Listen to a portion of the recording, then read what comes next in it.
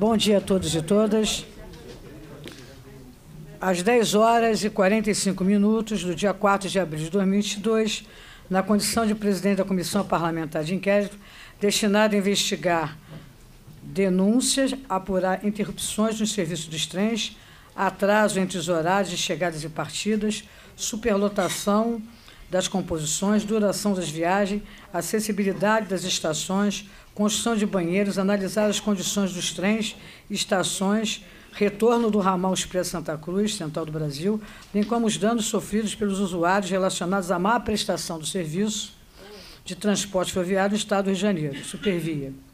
Contando com a presença dos senhores deputados, deputado Valdec Carneiro, que é o relator dessa comissão parlamentar de inquérito, meu vice-presidente, carinhosamente aqui, deputado Elimar Coelho, deputado Luiz Paulo, membro dessa CPI, deputada enfermeira Rejane, também membro da CPI, é, a deputada Marta Rocha já está tá retornando, ela saiu para atender um telefonema. Temos presente também o deputado Dionísio Lins, que está remotamente. Então, todos os membros da CPI efetiva estão presentes. E nós temos também o suplente, que ainda não chegou, que é o deputado Giovanni Ratino. A CETRANSP, a GTRANSP, Supervia, Polícia Civil, a PM, através de seu batalhão ferroviário, o ISP, Instituto de Segurança Pública, e o representante da Associação dos Reciclados. Presente também os representantes da Defensoria Pública, queria muito agradecer a presença do doutor Eduardo, da Defensoria, que vem em todas as, as nossas audiências. Os representantes também do órgão fiscalizador do controle de contas, nosso Tribunal de Contas, muito obrigado pela presença de vocês. Com o objetivo de debater os inquéritos policiais que tratam da apuração de roubos e furtos acidentes e mortes ocorridos nas estações dos trens administrados pela Supervia. Lá da Marta Rocha vai, vai se sentar. É, deputado Dionísio está aí remotamente? Ok? Não. Ainda não? Conexão, ok. Vamos é, iniciar as oitivas ouvindo os candidatos. Antes eu gostaria de passar aqui. Os candidatos não, os convidados. Já, é já, já, tá no, já estamos no ano de eleição, problema é sério isso. Pensei, Vamos lá. Pensei que isso era um tribunal eleitoral. deputado dos Paulo sempre fazendo a gente rir.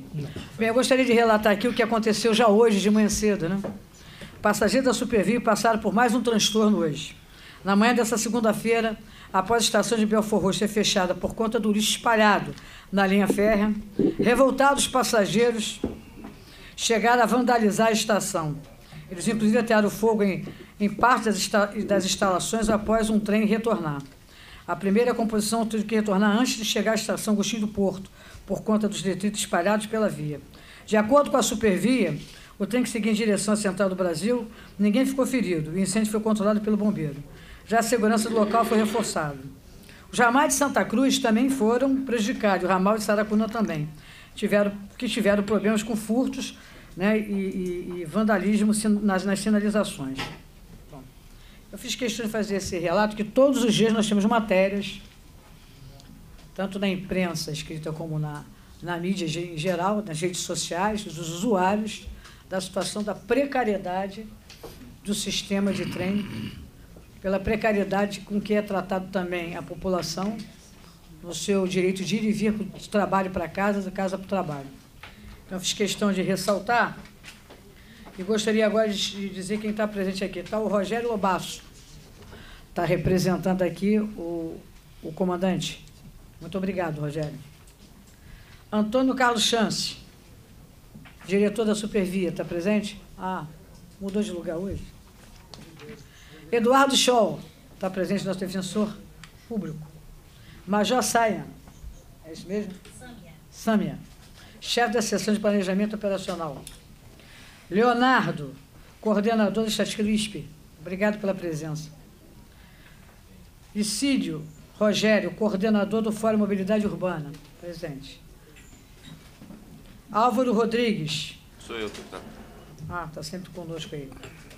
Michel Acef Filho. Tu é filho do Michel Acef? Nossa. Flamengo? Ah, hum. Gustavo de Melo, delegado de polícia, está presente? Muito obrigado pela sua presença. Então vamos convidar os demais. Né? Presidente, eu espero que a senhora, como tricolor, ganhe, mas não deboche, né? Deputado Luiz Paulo, em nenhum momento fiz nenhuma brincadeira com Vossa Excelência. Eu só usei meu, meu manto sagrado ontem do tricolor. Mas não trouxe ele hoje para a comissão parlamentar, respeitando Vossa Excelência, que é.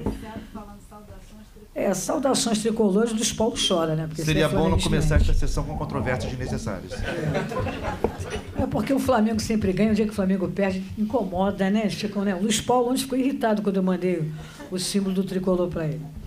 Gostaria de agradecer também a Juliana Barreto, gerente de comunicação da Supervia. Está onde é, Juliana? Obrigada. Carlos Henrique, Major Comandante, está presente aqui? Prazer. Quer sentar? Uma cadeirinha? Tá bom. Marcelo Nunes Salles, capitão da PM. Obrigado. Gerente da Câmara Técnica de Transportes Rodovia, a Catra, está aí presente. Tem apresentação de 10 minutos, não é isso, no Data Show? Vai ser apresentado pela Polícia Militar do Rio de Janeiro. Eu vou pedir aos nobres deputados aí da fazem parte da nossa comissão parlamentar de inquérito, eles trouxeram esse material, eu autorizei para que fizesse a apresentação. Pode iniciar. Bom dia, senhores e senhoras. Dá um, só um minutinho, um microfone para ele, por favor. Assessor Legislativo e Tributário da Secretaria de Fazenda, senhor William Vilar.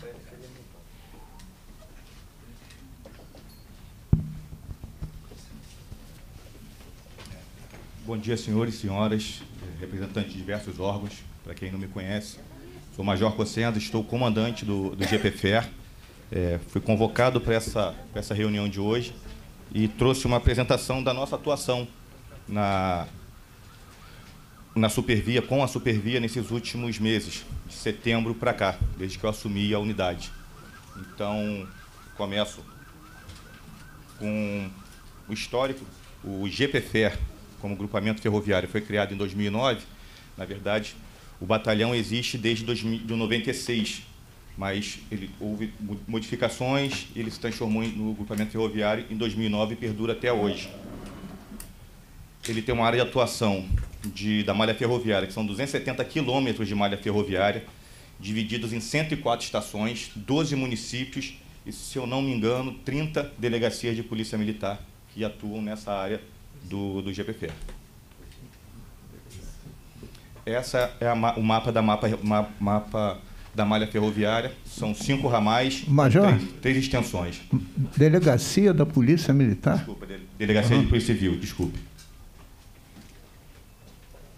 Esse é o mapa linear da, da malha, dá para entender melhor os ramais, as ramificações, seus pontos de conexões, onde os ramais se encontram e às vezes é, nós temos problemas com essas conexões. Uma manifestação num ramal desse, como houve em Deodoro semana passada, para todo, o quase, todo, o, a malha, quase toda a malha ferroviária. É, esse é o efetivo que eu trabalho atualmente. São 101 policiais militares na, à disposição do GPFE, divididos em alguns serviços específicos. Esses 101 policiais não incluem diariamente esses seis policiais que estão aqui, que são serviços extraordinários, são RAIs. Então, além dos 101 policiais militares, eu disponho de seis policiais militares de RAIs e mais em torno de 50 policiais militares do, do, do serviço de PROEIS da Supervia, mas esse serviço é da Supervia, gerenciado pela Supervia. É um serviço que eles definem como, quando e onde vão funcionar. Trabalham com, se eu não me engano, com evasão, evasão de, de renda. Então, seu batalhão ferroviário não tem, não tem gerência sobre essa tropa? Essa do, do Proeir específico, não. Essa do Proeir específico é da Supervia, é pago por eles pra, é, com fins de evasão de renda nas estações. Assim, é mais na questão da bilheteria. Não é nada em relação à questão de furto de cabo, nada disso. É mais a questão da. É, eventualmente, quando a gente tem uma, uma manifestação, um problema na estação, eu acabo lançando mão desse efetivo. A gente se comunica muito a Supervia, eu lanço mão desse efetivo que está na estação para reforçar também meu policiamento, tem atuar de uma forma mais, mais eficiente. Esse efetivo tem um outro comando?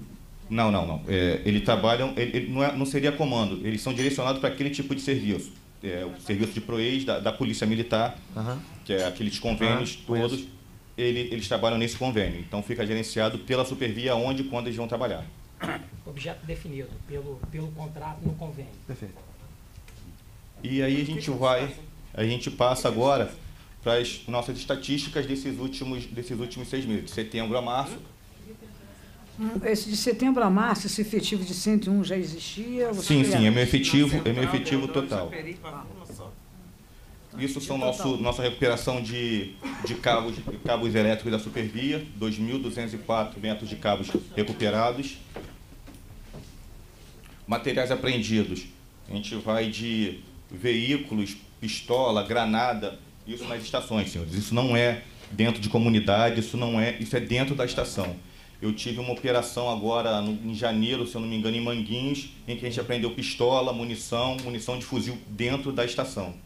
Então são estações que a gente tem algum, uh, alguns problemas sim. Munição, faca, aí parafuso, parafuso de ferramentas diversas são materiais. O, para, o, o parafuso de Tim Ford, ele é o que prende a, os dormentes, os, os dormentes nos os trilhos. E as ferramentas diversas são N ferramentas que eles usam para furto de cabo e furto desses parafusos. É, materiais, aí isso aqui já são outros tipos de materiais nas estações e outros serviços que eu vou falar mais à frente. Massa de cigarro, roupa, chinelo, capa de telefone, óculos, em quantidades, pô, 2.400 maços de cigarros. Esses são cigarros de. podem ser produto, são produtos de descaminho ou. sem nota. Vamos. Contrabando, é contrabando. Contrabando de descaminho. e passamos por, por mídia, mochila e assim vai, materiais diversos, porque esse serviço, vou mostrar mais à frente como funciona. Gente, duas, nós trabalhamos com duas operações específicas na, na, na, nas estações, são os trens seguros e a estação limpa, vou falar mais à frente sobre isso. Película de telefone, assim vai. O que, que a gente fez na, já na na assunção de, do, do, comando lá e algumas coisas para diminuir esses problemas na malha ferroviária. Orienta, orientamos a tropa para, dentro do possível, tentar é, colocar esses furtos de material da supervia, cabo, parafuso e outras coisas mais, no artigo 260 do CP. Eu vou falar mais à frente por que isso. Aí nós temos o, uma operação Arrastão do Bem, também, que é uma conscientização da, da, da população para no caso delas estarem vendo algum crime ocorrendo, elas informarem para a gente. Nós temos um número de telefone para isso, de WhatsApp, é, não precisa se identificar, não precisa de nada. A gente tem instrução com todo, do, todo o nosso efetivo, reforçando a necessidade do trabalho, a importância do trabalho da, da malha ferroviária e uma aproximação com a Supervia, para que gente trabalhar em conjunto e tentar diminuir ao máximo esses problemas na, na estação. As estações limpas, eles têm seguros, integração com órgãos municipais, a gente tem feito operações com, com prefeituras do Rio, Secretaria de Ordem Pública de, de, de várias prefeituras do, do, do, do, estado do Rio, na verdade, da, na verdade da região metropolitana, que é onde a gente atua. É, a gente tem um controle diário da nossa estatística e está tentando, está fazendo um melhor acompanhamento nas redes sociais para ter uma melhor comunicação com os usuários, que é onde a gente consegue mais informações de problemas. Como eu falei lá atrás, a, a tentar colocar no artigo 260 do Código Penal. Por quê? Eles entram no furto comum, normalmente quando tem esse furto de material da supervia. E, infelizmente, por, por força da lei, eles vão lá, respondem na delegacia e vão embora. Não, não acontece nada. Se colocar no perigo de desastre ferroviário, a gente conseguir enquadrar no, no, perigo de desastre ferroviário, a gente tem feito algumas vezes isso, tem conseguido, acaba ficando preso. Então é menos um problema, é mais uma, mais, mais uma, um, uma vantagem para nós ele ficar preso lá, pelo menos o susto ele, ele, eles tomam. Eu vou fazer um, um, um parágrafo aqui. Nessas, nesses meses, tem seis meses que eu, que eu estou lá, é, eu, eu, cheguei com um pensamento, a gente imagina que, e acho que muita gente aqui imagina que é esse furto de cabo, seria os moradores de rua para venda em ferro velho para comprar crack, vamos, vamos colocar assim, para compra de drogas. E nós já chegamos a pegar cidadão lá com 50 quilos de, de cobre num saco levando de Uber para vender no ferro velho. E depois, na delegacia, conversando com ele, ele falou que ele estava tentando se é, capitalizar para pagar o aniversário da filha dele.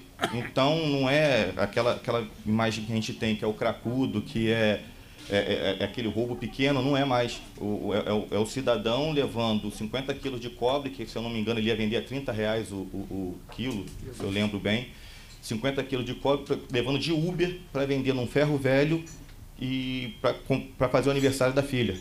Então está muito além do, do, furto pequeno. Aí. Mas só um minutinho, é, deputados, nós podemos, através aqui da Assembleia, através desse artigo 260, através de um projeto de lei, não podemos? Não, não. Código Penal. Poxa, não, mas, iremos ajudar muito vocês. Mas, deputada Lucinha, olha só, eu acho, desculpe, né, que quem faz a apreensão sabe tipificar, né? Se o, o roubo, aqui nos casos, roubou cabo, tirou grampo do dormente, evidentemente qualquer juiz vai verificar que isso está promovendo desastre ferroviário. Para poder tipificar no, no, no, no, inciso 4 do 260. Tá então, é, a descrição do, do, do tipo de, de, de furto né, é, é que vai definir o, o enquadramento, se é no 260 ou no 155. Eu acho que não depende de legislação, de legislação até porque nós não podemos. Né? É, nós temos tentado sensibilizar é, os delegados quando a gente apresenta a ocorrência, uns entendem dessa forma, outros entendem que é furto, e aí vai do entendimento na delegacia. Não cabe, não, não, não, somos nós que conseguimos, que enquadramos. Esse enquadramento é feito na delegacia. Sim, eu sei que o enquadramento é na delegacia, mas quem fez a apreensão foi a PM. A descrição da PM na delegacia é que vai levar o delegado a fazer a tipificação. Porque também, se for o caso, o, o, o deputado Lucinho, Sim. a CPI pode. pode oficiar a Polícia Civil que olhe isso em relação à segurança do usuário, que é a hipótese do desastre ferroviário. O que, o que nós mais nos preocupamos aqui é a questão da segurança dos usuários. Né? Então, isso nós podemos depois encaminhar e conversar com o responsável da, da secretaria. Só um, Deputado. posso uma parte? Está ali? Ah, tá bom. É, só, vamos fazer o seguinte, eu peço até é. desculpa que eu interrompi. Luiz Paulo fez adiante. Vou deixar, Lobaço, por gentileza, vou deixar ele concluir, depois eu passo a é. apresentar. Eu peço okay. desculpa se eu me excedi, é. porque no sentido de claro. tentar resolver, já que é no artigo 260, né, se pudesse, mas não, nós não podemos alterar a legislação, mas, como o deputado Luiz Paulo falou, pode ser enquadrado no, no artigo 4 Por gentileza, continue, desculpa. É, agora partindo, pra, como eu disse, para nossas operações, é, estações limpas. A gente percebeu que as estações elas são agora não são mais dos usuários, são de ambulantes que se ocupam das estações e realmente fica impraticável o cidadão ir e vir dentro da estação. Então nós, já existia essas, essas operações e a gente intensificou ela, elas e gerando esse tipo de apreensão. Muito material sem, sem procedência, armas apreendidas, é, limpeza na, na, na, malha ferroviária, drogas apreendidas. A, a, estação ela, ela fica limpa, ela fica transitável. A gente consegue fazer uma, uma, uma limpeza na estação para que o, o usuário possa fazer uso da mesma. Esses são materiais apreendidos nessas estações, é, materiais no uso para uso de furto de, de, de, cabo da supervia, todas essas facas, todos esses alicates são para isso. A gente, é esse sim, a gente encontra com morador de rua, é, os cracudos, é, no entorno da estação. Eles saem, somem e deixam esse material por lá. A gente encontra nesses, nesses acampamentos deles. Esse aqui específico foi, se eu não me engano, em São Cristóvão, a estação de São Cristóvão. Aí são, são estações limpas, como ela estava na nossa chegada e como ela ficou após a nossa chegada. Isso é a quantidade de material apreendido. Quando a gente vai com uma secretaria de ordem pública de algum município, material muito mais, muito mais material apreendido, porque a gente tem uma, uma capitalidade maior, a gente tem mais efetivo para poder não deixar que eles se, se evadam do local. Aí essa operação Trem Seguros, nós fazemos nas estações diariamente, é, abordagem de pessoas, de indivíduos, é, tem gerado para a gente uma apreensão de é, arma, de apreensão de celulares, aparelhos celulares, carteiras, documentos roubados. A gente tem conseguido encontrar em alguns momentos a vítima, apresentar a vítima e acusado na delegacia. Então ela tem uma repercussão muito boa.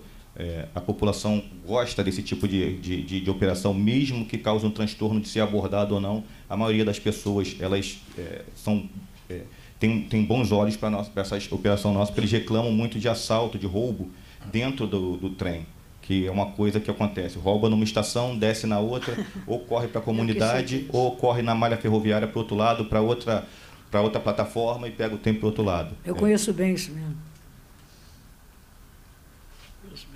Como eu disse, são operações com, com, prefe, com prefeituras. Essa aqui, se eu não me engano, é Nova Iguaçu. Essa aqui é a Prefeitura do Rio, mais, mais Maria da Penha, que é da PM, mais o Serviço Maria da Penha, que é da, da Polícia Militar.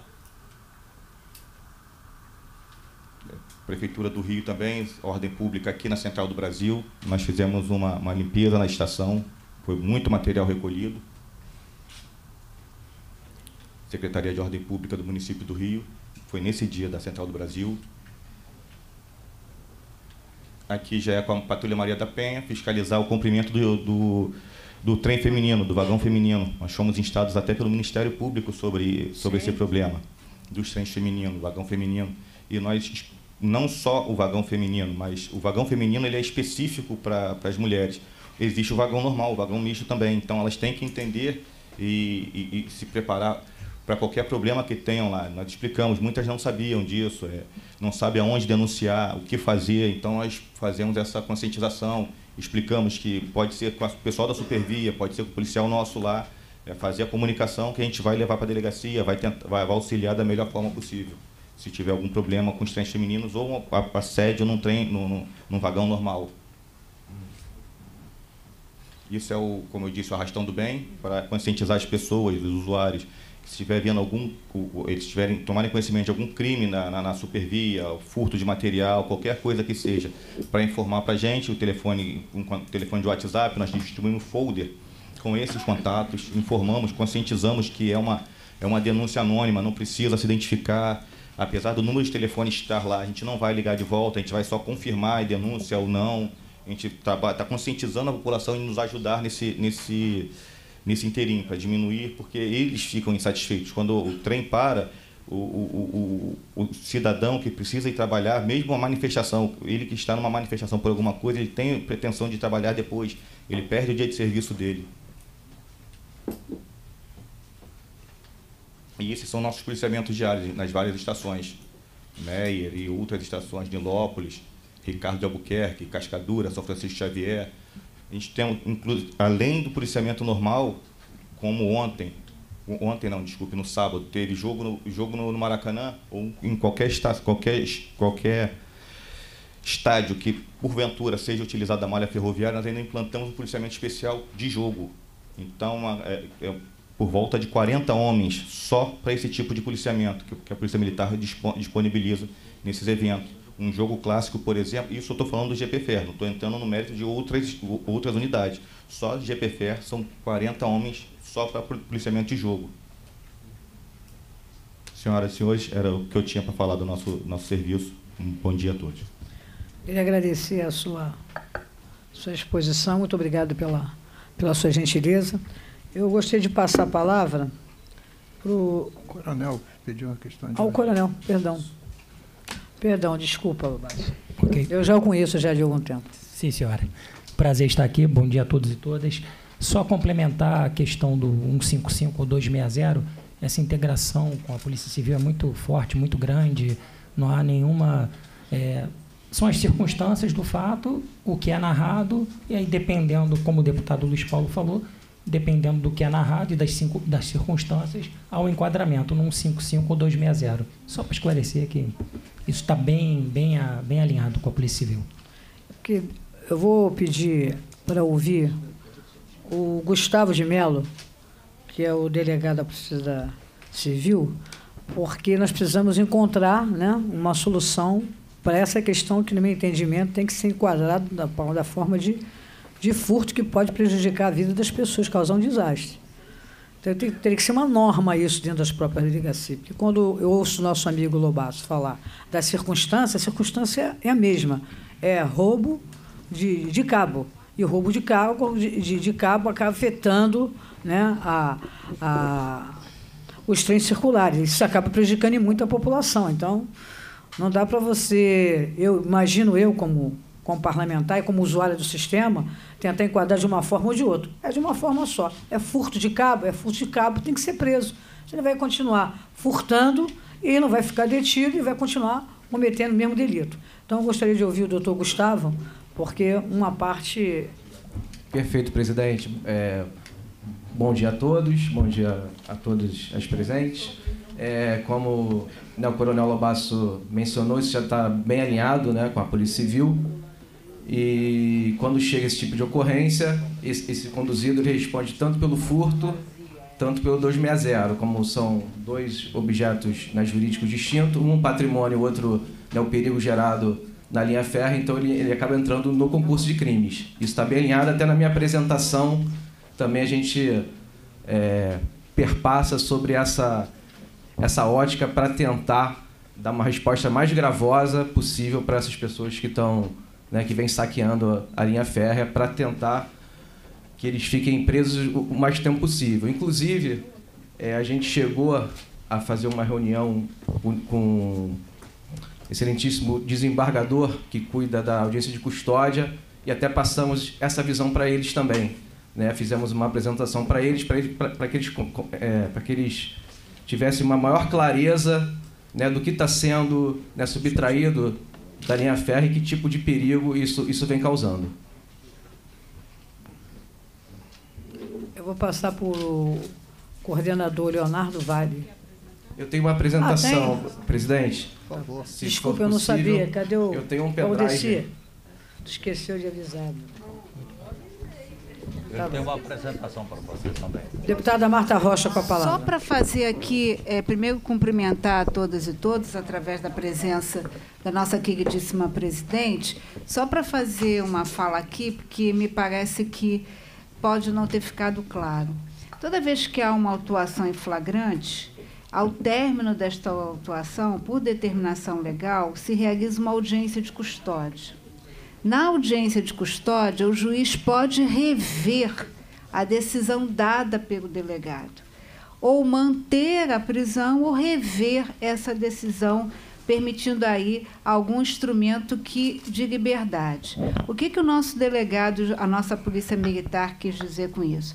Há uma perfeita entrosamento entre tanto a Polícia Civil e a Polícia Militar, e hoje a Polícia Civil está entendendo de não apenas é, autuar no furto, que é mais leve, e sim no furto e no perigo de desastre férreo.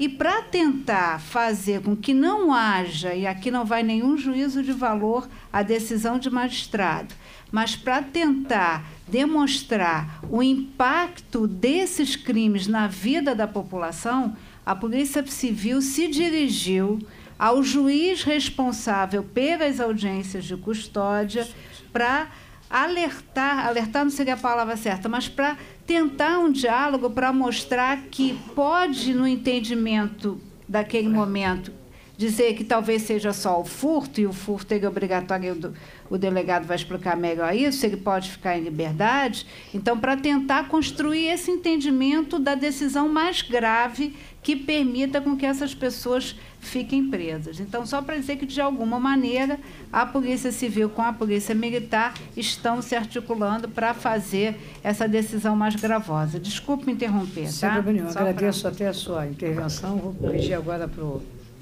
nosso amigo.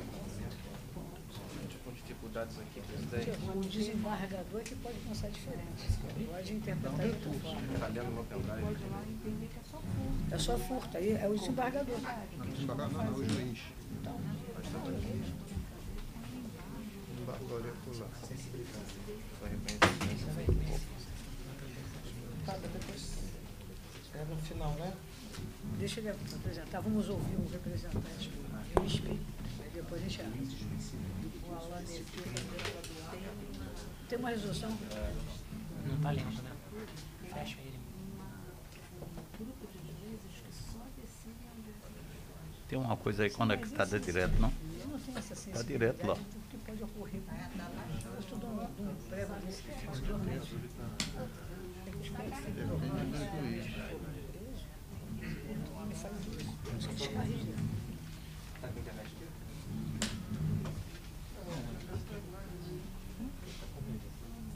Tem alguém para assessorar ele aqui? Tem alguém para ajudar? Tá, tá, Valdeci, tem alguém? Tá, tá, tá. ali já. Nem vi.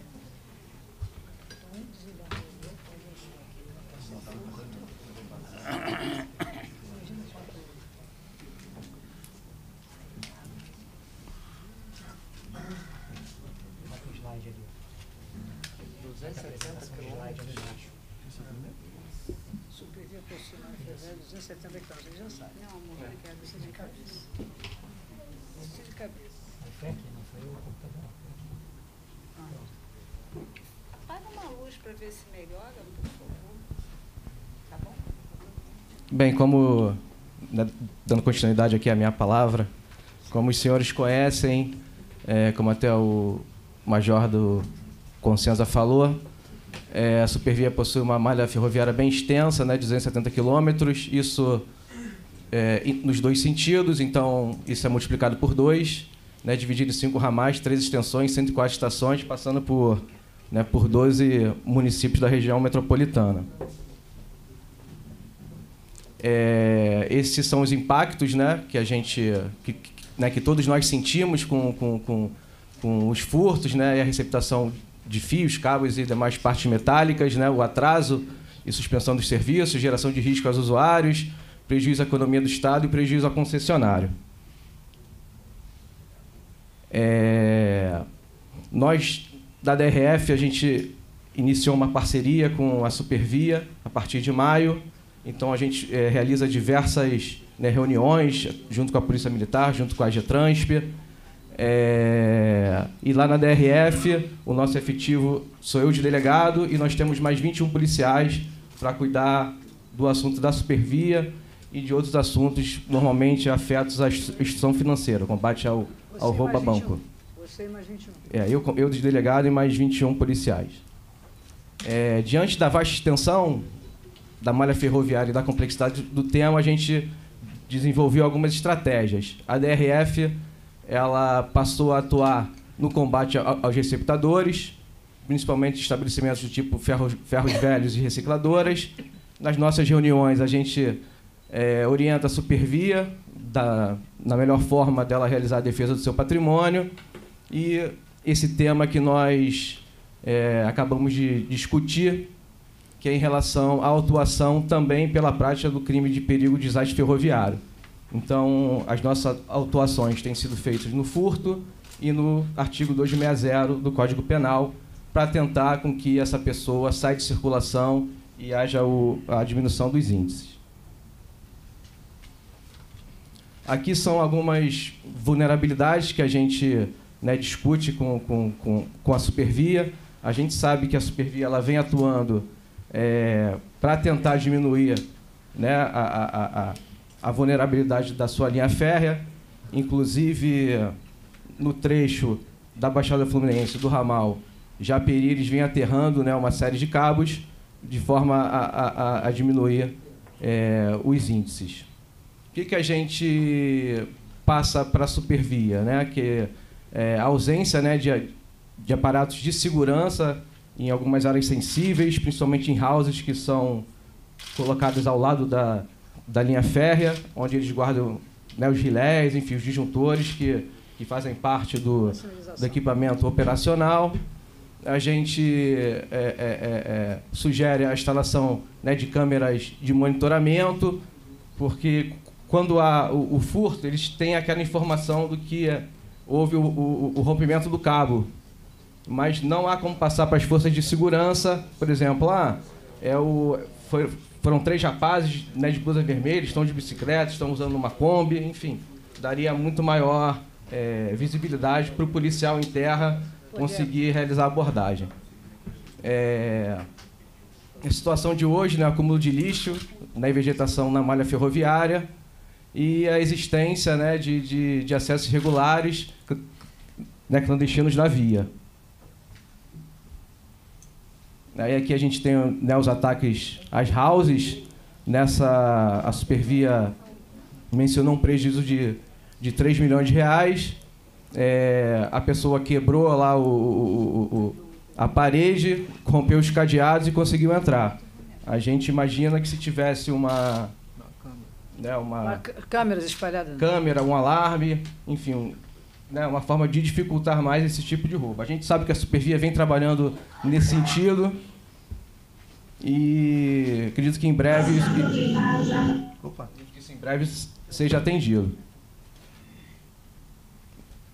Os acessos né, irregulares que facilita né, é, que esses marginais entrem na via para subtrair os grampos, os parafusos, as passarelas, também as houses são, né, são colocadas no acesso que o marginal ele consegue chegar. É, sei que são projetos antigos, não é dessa gestão da Supervia, mas há uma passarela em que a pessoa que quer Tá invadir, que quer invadir a, a linha férrea, ele dá um passo e né, já cai na linha férrea. A própria passarela, ela ajuda a que a pessoa entre na- clandestinamente na linha férrea. A gente sabe que essa pessoa está errada, né? É, né? Mas a gente tem que tentar ao máximo dificultar a vida deles. Delegado, por favor. Desculpe, no slide, dois ou três slides anteriores, apareceu, o senhor falou rapidamente, né, é, a teoria das janelas quebradas. Pode explicar um pouquinho melhor o que é isso? Sim. É, é uma teoria É bastante parece- conhecida. Assim. né? Em resumo, ela quer dizer que a gente é, tem sempre que cuidar né, das nossas coisas. Né?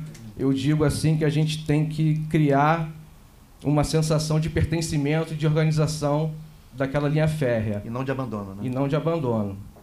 É, o- até o caso concreto é- é- era um edifício que estava com uma janela quebrada que ninguém reparou e aí as outras janelas foram sendo quebradas e posteriormente esse prédio chegou a ser invadido. Mas reiterando aqui, a gente sabe do esforço da Supervia em, em cuidar do seu patrimônio. São só exemplos aqui, né, que a gente tem até né, algumas moradias que, que, que margeiam a linha férrea. Aqui são as nossas operações. Né, nossas operações, a gente faz operação toda semana. É, essas são as operações mais, mais importantes né, que nós fizemos. É, a apre- é, apreensão em prisão de, um- uma- um- de uma pessoa que estava com 2 km de cabo de fibra ótica. Enfim, fizemos a ma- maior apreensão de fios de cobre em São Gonçalo.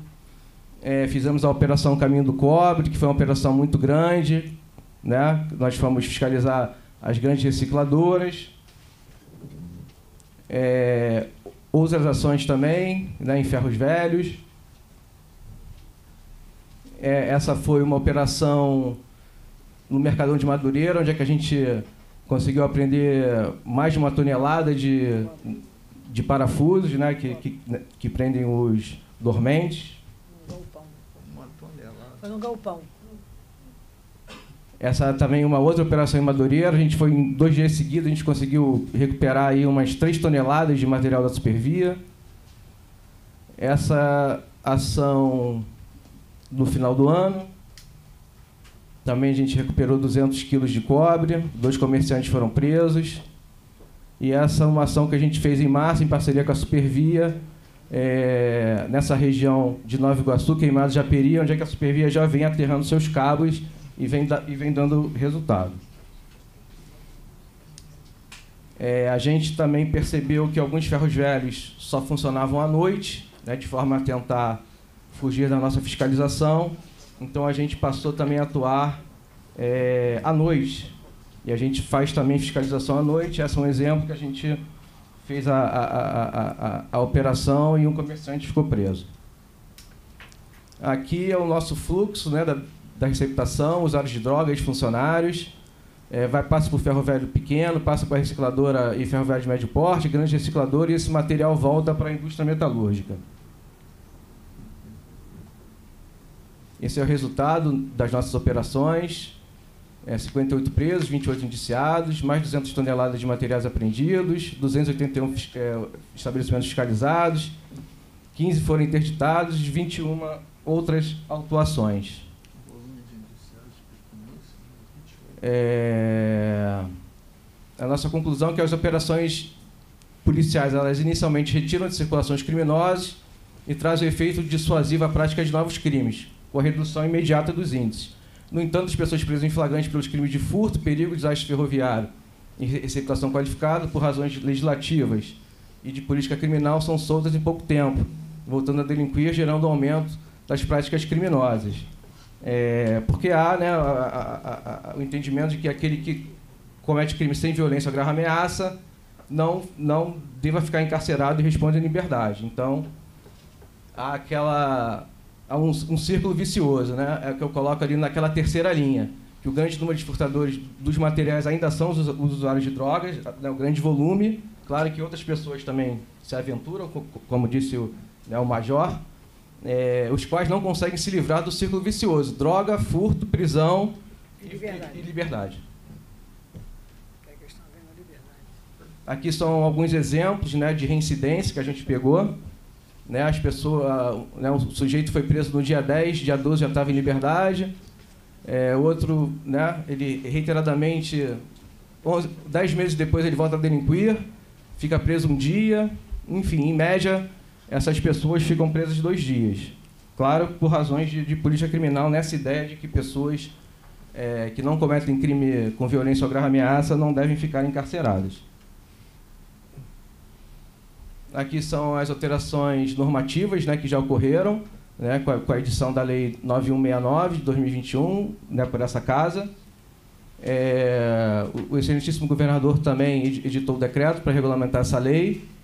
É, a Polícia Civil está finalizando a sua resolução né, para dar maior efetividade a essas fiscalizações de ferro velho, para que a gente possa impor sanções administrativas, não só fique na parte criminal.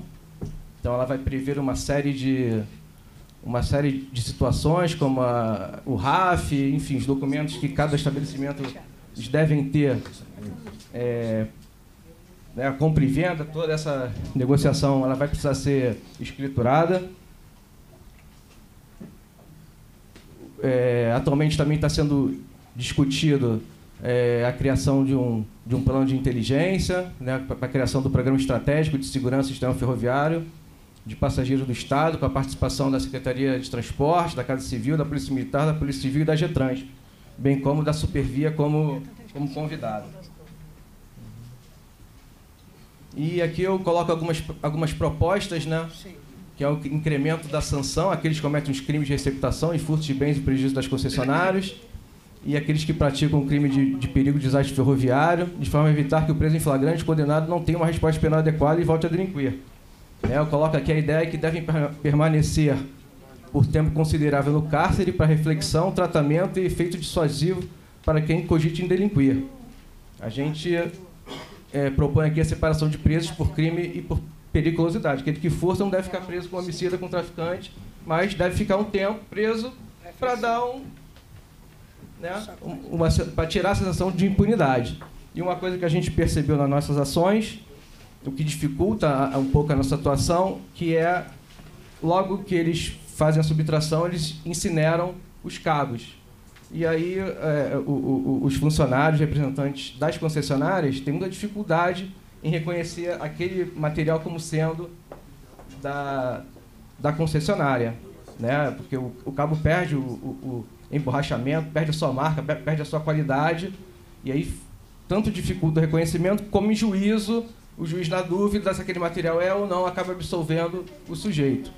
Então, aqui eu, eu proponho uma edição de lei que proíbe a comercialização de fios e cabos incinerados. É, a incineração de materiais visa impedir dificultar o reconhecimento pelos lesados, vez que caracteriza o produto, o que prejudica a indicação da sua clara procedência. Aí eu proponho que a incineração deve, deve ser autorizada somente no final da cadeia econômica e com a aprovação das entidades interessadas, concessionárias, agentes reguladores e dos órgãos ambientais. Né? Isso seria acumulado no final da cadeia, lá no grande reciclador. Ah, esse material está aprovado? E aí seria, seria autorizada a incineração, que até depende da, da, da, autorização do órgão ambiental, porque isso gera, pode gerar poluição. Bem, senhores, essa é a apresentação da Polícia Civil. Uma apresentação barra exame de vista, né? Mas essas, essas, apresentações vão ficar à nossa disposição, né, Tanto da Polícia Militar quanto da Polícia Civil, né? Vou citar tanto o Lobaço quanto do Gustavo. Queria agradecer a apresentação do Gustavo e a, a solicitação que foi apresentada pelo senhor nós vamos aqui, através da, da Assembleia Legislativa, através do projeto de lei, deputado Luiz Paulo, projeto de lei justamente para poder adequar essa nova realidade que nós vamos vivendo. Vou passar a palavra para o Leonardo Vale, que é coordenador de estatística do ISP. Bom, bom dia a todos. É, representando o Instituto de Segurança Pública, eu sou o coordenador de estatística é, é onde a gente vai fazer essa consolidação e divulgação dos dados de segurança pública. E é importante salientar é, que o ISP assume esse papel em 2005, né? Então, é, como órgão de estatística de segurança pública, o ISP efetivamente ganha essa alcunha de é, responsável pela consolidação e divulgação no ano de 2005. A gente consegue fazer alguns trabalhos retroativos, é, puxar os dados né, para um período anterior. Então, a gente hoje tem dados consolidados fechados de 91 em diante, né, dados estaduais, e a partir de 2003 a gente tem dados desmembrados. E aí uma questão importante é que o ISP também não faz a divulgação de todas as titulações presentes né, dentro do, do arcabouço jurídico, né, dentro do, do limite de atuação da Polícia Civil. A gente tem ali uma seleção de, de títulos que são divulgados e a gente segue um padrão nacional. Então a gente tem a Secretaria Nacional de Segurança Pública apontando, né, sendo o farol das informações, e aqui o Estado segue a reboque. Então a gente tem em torno de cinco, 50 titulações que a gente divulga mensalmente. Não significa que a gente não tenha outros dados. É, obvi obviamente, né, os dados que estão disponíveis para acesso a qualquer um do povo, né, o nosso site, o site do Instituto de Segurança Pública é um site aberto, a gente tem a política de conceitos de dados abertos é, para aqueles dados que são tabulados e difundidos mensalmente, mas a gente também permite para que outras pessoas, pesquisadores, enfim, é, pessoa, qualquer um do povo, possa solicitar o que a gente chama de microdados, que seria o desmembramento dessas informações para além do limite de uma circunscrição. É, só trazendo é, o, o, porquê disso é porque os dados são computados por circun, circunscrição integrada de segurança, que seria é, a área de atuação de uma delegacia. Então, uma área de delegacia, um conjunto de delegacias forma é, uma ISP, que seria é, o, o, batalhão, né, o equivalente ao batalhão da Polícia Militar, e um conjunto de AISPs, né, de batalhões, formam a, a região integrada de segurança. Então, esses dados são divulgados dessa forma, seguindo também uma padronização nacional. E aí, especificamente, entrando no mérito da questão, é, os eventos que envolvem é, a questão dos crimes é, per, perpassando pela área ferroviária, a gente tem alguma limitação nesse sentido, é, da forma como a gente recebe os dados, da forma como a, a Polícia Civil atua. É, então, a gente tem acesso a partes desses, desses dados, né, desses microdados. Obviamente, isso é, é, tem um porquê, não é, não é a revelia, simplesmente porque existe ali uma reserva de mercado investigativa, enfim, uma série de questões que são é, é, é, próprias da Polícia Civil com relação à proteção daquela informação, seja por conta da identificação de pessoas, né, a lei de proteção da informação, né, então a gente tem uma série de, de questões que envolve isso, e aí especificamente, quando a gente fala dos crimes que envolvem é, eventos ferroviários, a gente, por exemplo, no Instituto de Segurança Pública não vai conseguir depurar é, de forma integral, por exemplo, roubos de cabos. Né? Isso para a gente, a gente consegue ver roubos, consegue ver furtos. Agora, esse detalhamento, se o roubo foi especificamente de cabos, não existe essa, essa padronização dentro do sistema. É, existem algumas titulações, a gente tem em torno de duas mil titulações que a Polícia Civil lança a mão, e aí a gente consegue, por exemplo, separar se foi um roubo a transeunte, um roubo de aparelho celular. Em tese, tudo seria apenas um roubo, mas dado a, a, a a necessidade da informação, de melhor qualificação, e aí deixando bem claro, isso para a Polícia Civil pouco importa a forma como está titulada, porque eles são detentores do inquérito e eles estão enxergando a peça como um todo, mas para fim de comunicação externa, existem algumas titulações específicas, no caso, como eu falei, do roubo a transeunte, roubo de aparelho celular, enfim. Para o caso do cabo né, de, de energia, ou para o cabo é, ou dormentes, enfim, qualquer coisa nesse sentido, a gente não tem essa informação.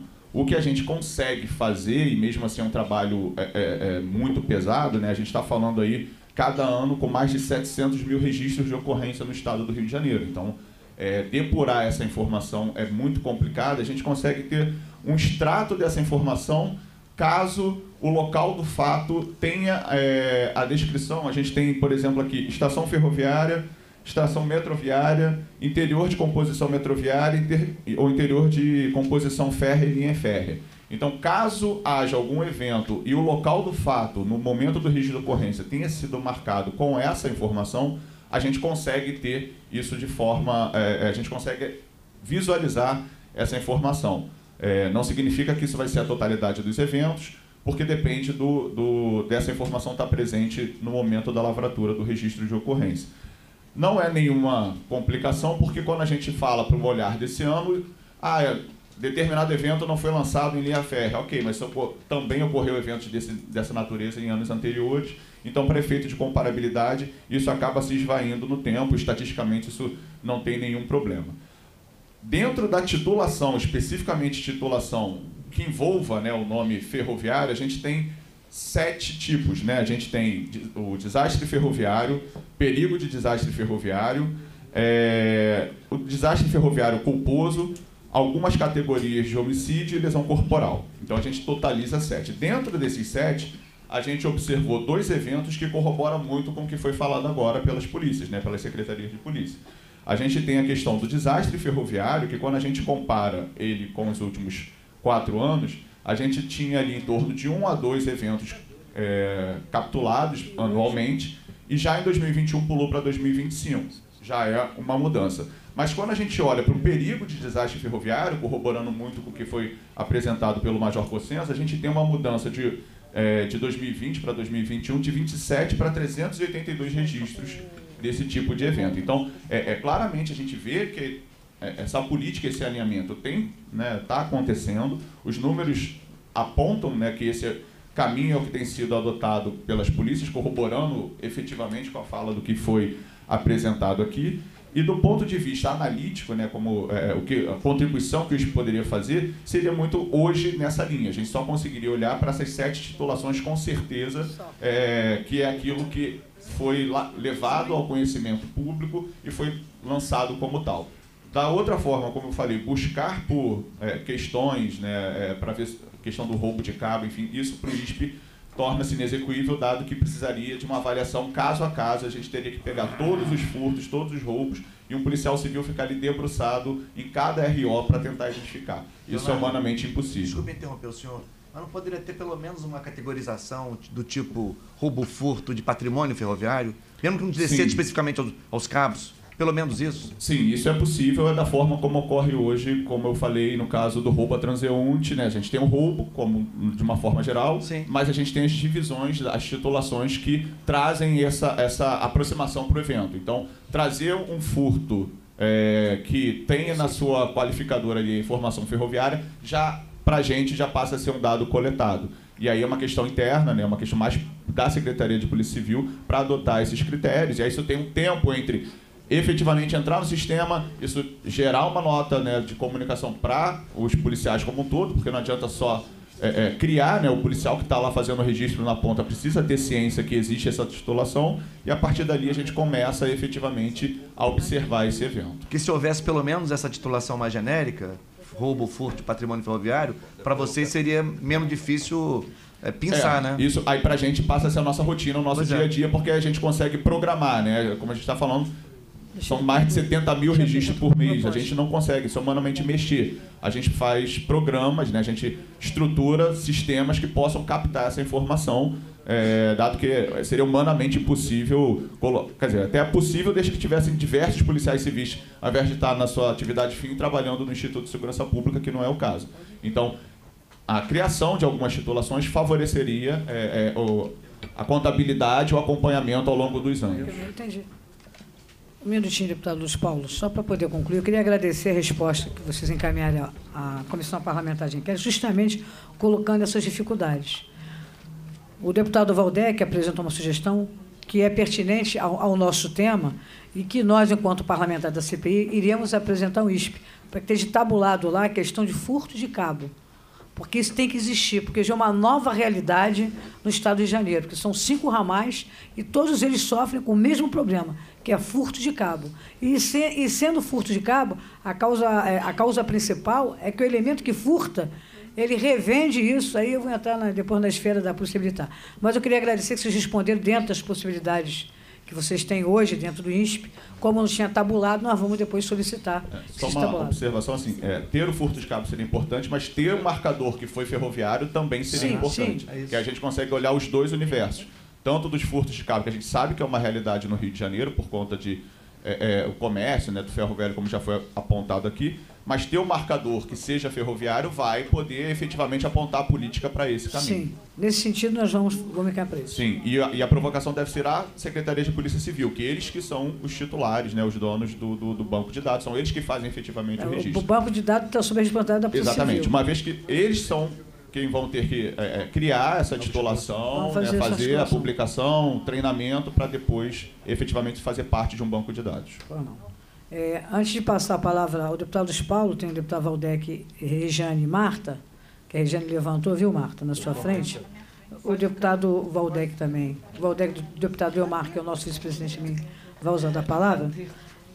Eu só preciso é, aproveitar a oportunidade do, do Lobaço, é, dizer que é a questão do, do que vem acontecendo nas estações são 101, são 101 pessoas que trabalham na parte da, da, do acompanhamento das estações através do que foi apresentado pelo, pelo capitão, correto? É um número muito pequeno para a quantidade de estações de ferroviária que nós temos ao longo da nossa malha férrea. Porque são cinco ramais, então vocês têm 101 pessoas só. Para dar conta disso tudo fica muito difícil. Ainda mais num momento como esse, que nós estamos vivenciando a questão do furto de cabo, é todos os dias. Pelo menos o que passa para a imprensa, o que é noticiado, é que todos é dia sim, dia não também. Então, eu acho que a Polícia Militar, através desse, desse batalhão operacional, poderia aumentar o quantitativo. Porque, por exemplo, quando foi apresentado aqui é, pelo, pelo capitão, da necessidade de, de, se acompanhar o dia a dia que vem acontecendo, precisa aumentar esse efetivo. O efetivo está muito aquém da realidade. E a outra questão que eu queria levantar depois eu vou passar, depois que os deputados falaram, eu vou passar a palavra para o presidente da, diretor-presidente da Supervia, que é a questão do, dos muros, né? Ao longo da linha férrea, são todos abertos, o pessoal entra sai, rouba, entra, sai nas estações. Isso é responsabilidade da Supervia, que é a concessionária. Ao longo da, da, desses cinco ramais, o que mais nós encontramos é isso. Né? Quase que estação sim, estação não, você tem um buraco onde a pessoa entra, entra a pé, sobe na estação, furta os passageiros que estão aguardando o trem e faz tudo tipo quanto é vandalismo. Então, acho que, por parte da Supervia, também tem que ser chamada a responsabilidade que tem que resolver essa questão, que é de responder à Supervia, é ela que tem a concessão. E aí a Secretaria de Transporte tem que exigir que isso aconteça. Porque senão a Polícia Civil, a Polícia Militar, vai enxugar gelo. Porque eles vão entrar e sair com muito mais facilidade. Então a responsabilidade é da Supervia. Quando foi falada a questão de onde vai ser encaminhado esse material que é furtado, gostaria de ressaltar que numa das é, é, sessões aqui na LERJ, eu fiz uso da palavra e hoje não vou cometer esse erro, que o presidente teve que pedir para retirar dos autos né, da, da TV Alerj, que eu fiz a denúncia. O que acontece em determinada área na Zona Oeste e que tem um galpão gigantesco e que todo o material de cabo que é furtado vai para esse mesmo galpão. É um galpão todo coberto. Inclusive, eu usei da palavra e falei sobre isso. Depois o deputado André me chamou a atenção que eu não poderia, estava me expondo demais ali. Então, se eu, como usuária do sistema de trem, moradora da Zona Oeste, tenho conhecimento disso, eu queria saber como a Polícia Civil, a Polícia Militar, não tem conhecimento disso, que determinada favela existe um galpão gigantesco, recebe todos os dias esse tipo de material. E na hora que esse material sai, depois que ele é queimado, como foi colocado pelo pelo presidente da, o Gustavo, depois que é queimado, ele sai num outro caminhão desconfigurado. Tem até um. Tem que até uma plotagem da marca de um, uma loja de, de eletrodoméstico. Mas ali está saindo todos os cabos já depois da, da incineração. Então isso acontece. Então, se eu, como deputado, usuário do sistema, eu tenho conhecimento disso, fica muito difícil eu entender, Lobaço, de que a Polícia Militar e a Polícia Civil não têm conhecimento. A própria Supervia, ela deve ter conhecimento também dessas situações. O que interfere muitas vezes, a necessidade é de, de ter autoridade, no sentido de intervir e entrar, e flagrar. E quem está falando aqui é pessoas que moram na Zona Oeste, eu ando de trem. Eu, com tudo que foi falado aqui, eu convivo. As aberturas no muro da estação férrea, no desrespeito ao vagão feminino, a questão da venda de drogas em diversas estações de trem. É droga sim. Na quinta-feira eu vim de trem para cá, estava vendendo droga na mesma estação que eu falo sempre para você, deputada Marta. No mesmo lugar. Isso ao longo não é só do ramal Santa Cruz, não. É do ramal também Japeri, do ramal Saracuruna. As mesmas coisas acontecem. Eles vendem mesmo, é tabuleta vendendo droga dentro das estações. O deputado Valdec, numa inspeção junto com o deputado Dionísio Lins, quando eu solicitei isso lá atrás, quando ainda éramos uma comissão especial, eu tive a oportunidade de mostrar, tanto para o Valdec como para o Dionísio, olha ali para a janela ali, dá uma olhadinha ali. Balcão, a, a banca vendendo branco, preto, tá ali e tal, vem compra. Generalizado, dentro de uma estação ferroviária. Na plataforma. Na plataforma. Como é que pode a Supervia não ter conhecimento? Como é que pode a Polícia Militar não impedir que isso aconteça? Como é que pode a Polícia Civil não fazer esse mapeamento de quem está levando essa droga? Quando se coloca Vila Kennedy, Vila Kennedy é uma, é uma, uma comunidade muito extensa na Zona Oeste. Ali uma grande parcela das coisas que acontecem vai muito permeando pelaquela área lá. Mas nós temos na Baixada Fluminense também. E sabe quem me avisa na Baixada? É o próprio usuário através do meu WhatsApp.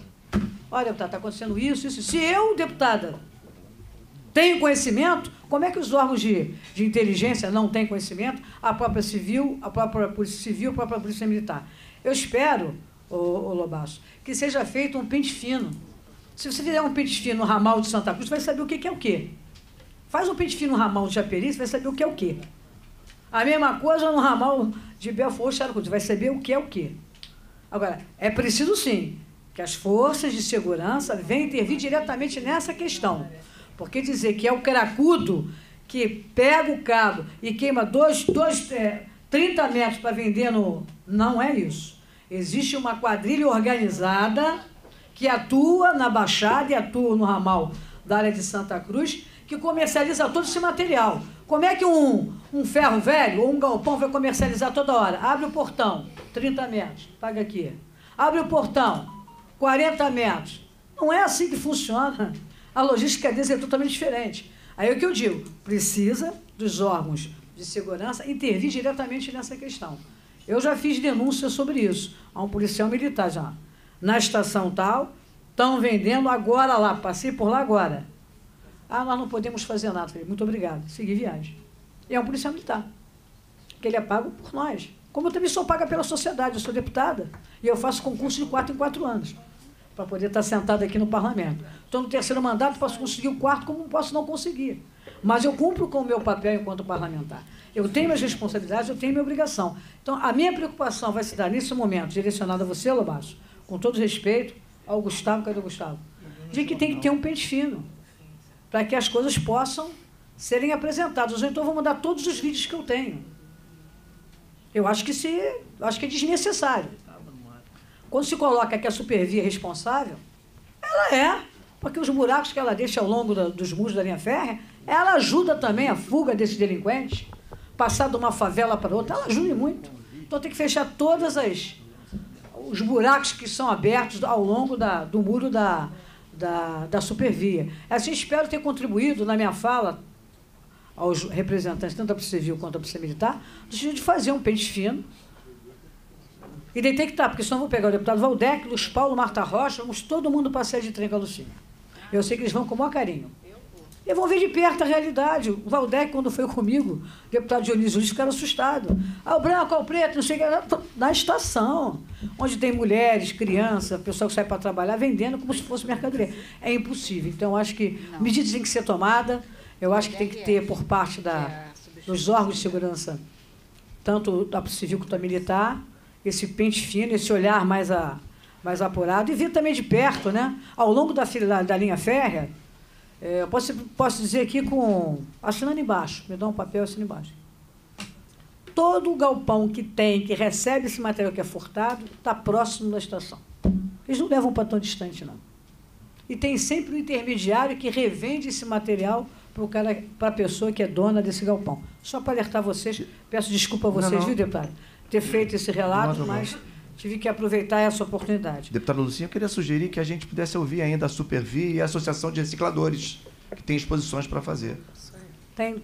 Então, a Supervia, por gentileza. Eu que... Vou acatar aqui a solicitação do deputado Valdec, ok? Todos concordam? Valdec de... sugeriu e depois. Associação de Recicladores.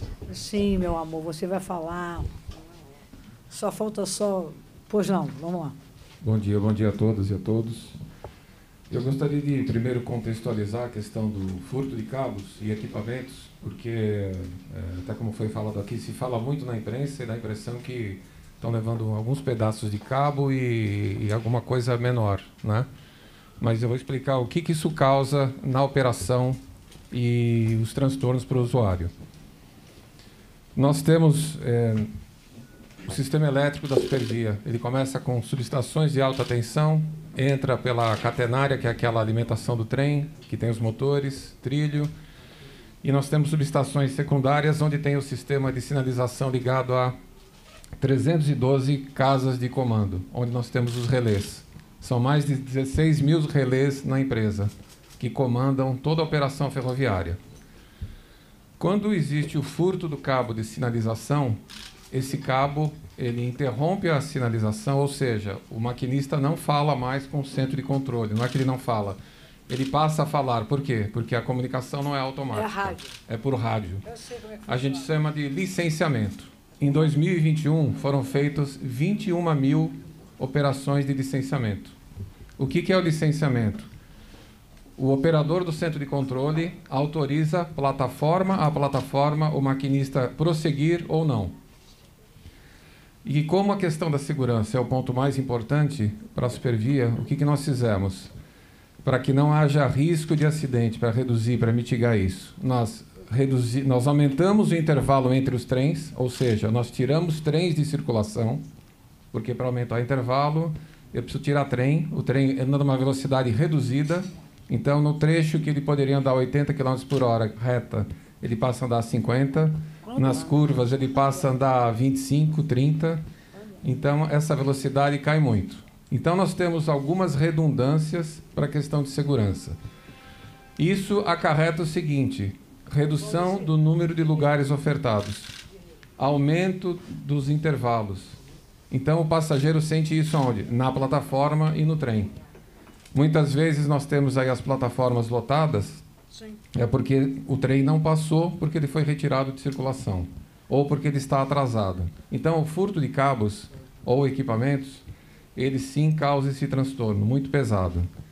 Só para todos terem ideia, nesse final de semana, sábado e domingo, nós tivemos 11 eventos de furtos, tanto de cabos como de equipamento, em vários locais. A média que nós estamos tendo esse ano está em torno de quatro, às vezes cinco por dia. As ocorrências em 2020, ocorrências de furto, elas estavam numa média mensal de 40 ocorrências. Em 2021, essa média passou para 90 ocorrências. E agora, em janeiro de 2022, tivemos 121, fevereiro 99 e março 127. Mesmo com a atuação e todo o trabalho conjunto com a Polícia Militar e Civil, é, apreensão de cabos, né, a prisão de, dos infratores, a gente continua tendo um aumento expressivo do, do, número de furtos. O preço do cobre e alumínio nos últimos dois anos ele subiu mais de 100%. Isso no mercado internacional e aqui também. Foi comentado aqui o valor da sucata em torno de 30 reais, mas a gente tem números de outubro do ano passado que chegou a 50 reais o quilo do cobre. Então isso acaba pesando muito. É, foi comentado também da questão do cabo de sinalização, que ele é, ele é descaracterizado. Esse aqui é o cabo de sinalização. Ele é colocado aqui com, com plástico e esses cabinhos aqui interligam vários sistemas. E é isso que o pessoal queima, derrete para aproveitar o cabo. Eu queria mostrar um outro cabo, que é esse aqui. Esse cabo aqui, ele é nu, né? e ele pode ser também é, blindado dessa forma. É o mesmo cabo. Isso aqui alimenta o sistema de sinalização. Esse cabo não é como esse. O que, que eu quero dizer? Esse cabo aqui é de baixa tensão. É mais ou menos, eu vou fazer uma analogia muito simples, mas é como na nossa residência, tem 110 ou 220 volts. Esse cabo aqui tem 4.400 volts. Ou seja, não é um usuário de droga que está cortando esse cabo. Não, claro que não. Porque se você encostar nesse cabo, a pessoa tem vem a óbito. Né? carga elétrica violenta. Então, é, isso aqui leva a, a crer que são é, que é o crime organizado. É quadrilha né? mesmo. E essa, esse tipo de ação é, acaba impactando muito, não só no serviço ao usuário, mas no risco para a questão de segurança. E para mitigar isso, nós fazemos todas essas atividades de reduzir velocidade, de aumentar o licenciamento, ou seja, via rádio é, e tudo mais. Eu queria citar dois casos, um foi citado aqui já. É, teve um furto de cabo desse tipo, de 4.400 volts, entre Corte 8 e Gramacho. Isso ocorreu no dia 24 de janeiro. Foram roubados, foram furtados 60 metros de cabo. O impacto desses 60 metros ele atingiu 2 quilômetros de sinalização. Ou seja, mesmo que sejam levados 60 metros de, um, de uma região próxima a uma estação, às vezes ele afeta duas, três estações. Então, ele pega a, um trecho grande do, do, do ciclo. Só nesse dia, nós tivemos 41 viagens canceladas por esse motivo e outras 29 com atraso médio de 19 minutos. Nós deixamos de ofertar, nós reduzimos 98.400 lugares. Então é por isso que o passageiro sente toda essa situação crítica. Nós sabemos disso. A deputada Lucinha tem razão, ela que circula pelo sistema, mas o furto de cabo está causando isso e a Supervia tem hoje duas equipes dedicadas só para esse tipo de ocorrência. Então isso ocorre normalmente de madrugada, a gente repõe, procura repor rapidamente. Essas equipes acabam tendo um custo extra que a, que a empresa é, tem aí para bancar. Nós temos, além disso, uma questão do sistema em si, que afeta toda a nossa manutenção. A gente deixa de fazer a manutenção naquele momento, a preventiva, para atuar na ocorrência. Fazemos a preventiva? Sim, mas depois. Então, isso acaba atrasando um pouquinho o nosso plano anual de manutenção. Quando se trata do cabo de aterramento, os trens têm um sistema de aterramento. E esse cabo de aterramento, ele permite é, com que você não tenha fuga de corrente. O, o trem funciona sem ele? Funciona. Vai trazer risco para a operação? Não diretamente. Mas, o que, que ele acarreta? Essa corrente, em vez de circular pelo circuito de terra, ela, circuita, ela circula pelo circuito eletrônico. Ela queima componentes eletrônicos ela passa pelo sistema de freio, ela danifica, mesmo sendo mecânico, o sistema de freio. Isso quer dizer o seguinte: a vida útil do componente do trem fica mais curta. Então, aquele componente, aquele trem que duraria X anos, ele vai ter uma vida menor. Aí é no caso da via da fibra ótica? Não, não é da fibra ótica, é do cabo de cobre ainda. Um outro caso que foi citado, inclusive mostrado as fotos aqui, onde derrubaram as paredes, foi uma casa de controle, centro de comando. Foi no dia 9 de março, agora, do mês passado. Foram furtados 40 relés e vandalizados outros 16. O custo direto desses equipamentos é R$ 1 milhão 680 mil reais. Fora a, as prateleiras, os cabos internos e toda a instalação. Para restabelecer essa casa de controle, são 2 milhões de reais com quatro técnicos em cinco meses para poder fazer toda a instalação. Isso ocorreu aonde? Naquele trecho que a gente chama reta de Honório, que liga o, o ramal Belfort Roxo com a nossa manutenção em Deodoro. Ou seja, nós temos que agora fazer uma, uma transação muito maior de circulação por outros trechos. Enfim, isso aqui causa muito transtorno para a manutenção, para o usuário, para a questão de custo e o que, a Supervia vem fazendo para reduzir e minimizar esses efeitos? Nós estamos embutindo os cabos. Esse cabo de sinalização é um cabo aéreo, ele está nos postes internos da ferrovia. Nós estamos colocando esse cabo concretando né, em valas, é, é, a uma certa profundidade. Nós já fizemos isso em duas fases. O ano passado fizemos entre Queimados e Engenheiro Pedreira. Qual é o investimento para cada trecho? Cada quilômetro desse embutimento de cabos custa 330 mil reais. E é um custo adicional que a, que a empresa não poderia ter. Então, nós estamos deixando de investir em outras coisas para embutir os cabos. Nós fizemos agora esse ano entre Japeri e Engenheiro Pedreira, concluímos um trecho de 5 quilômetros, está concluído. E vamos concluir agora em abril entre Queimados e Austin, mais 7,5 quilômetros. O investimento desse segundo trecho é 4 milhões e 300 mil reais, também, 330 mil por quilômetro. Isso tem dado efeito? Sim. Os trechos que nós concluímos e tivemos a observação com relação a furto de sinalização não ocorreu mais, até porque o cabo está enterrado, concretado. Né? É, e isso acaba migrando para quê? Para o grampo, aquele grampo ou parafuso que prende o trilho, ou para outro tipo de cabo, como esse aqui que eu comentei com os senhores e senhoras. Então a Supervia vem fazendo esse embutimento de cabos.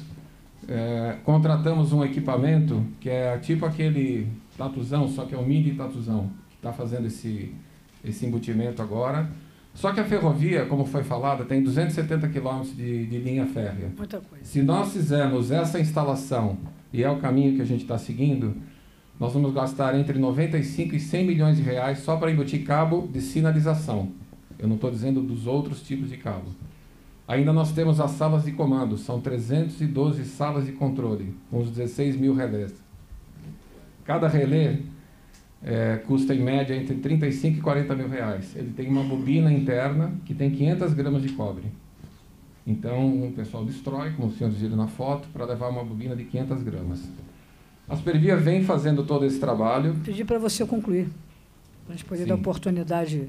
É, Michel poder nós falar. temos, foi falado aqui também da questão é, da questão da janela, né, da- do efeito da janela. É, tem outros efeitos externos. A Supervia vem fazendo todo o possível para manter a operação rodando e as instalações em perfeito estado. Mas, por exemplo, o lixo na via férrea é uma quantidade enorme. Nós retiramos, nos últimos dois anos, 2020 e 2021, 6 mil toneladas de lixo. Nós temos aí, nós chamamos de trem do lixo, que circula toda semana. Nós retiramos esse lixo que é jogado na linha férrea. Então, nesse final de semana, qual é o efeito do lixo? Quando chove, mesmo que chova pouco, ele entope as galerias ou as, as áreas de drenagem e aí rapidamente a, a- nós temos ali a via férrea alagada e isso deteriora o dormente, que fica muito mais tempo mergulhado na água e cria uma coisa chamada bolsão de lama, aonde nós temos a brita, né, as pedras, e aquilo afunda. Então, assim, é uma situação muito séria, é, muito crítica e que a gente vem combatendo, mas infelizmente os números vêm crescendo.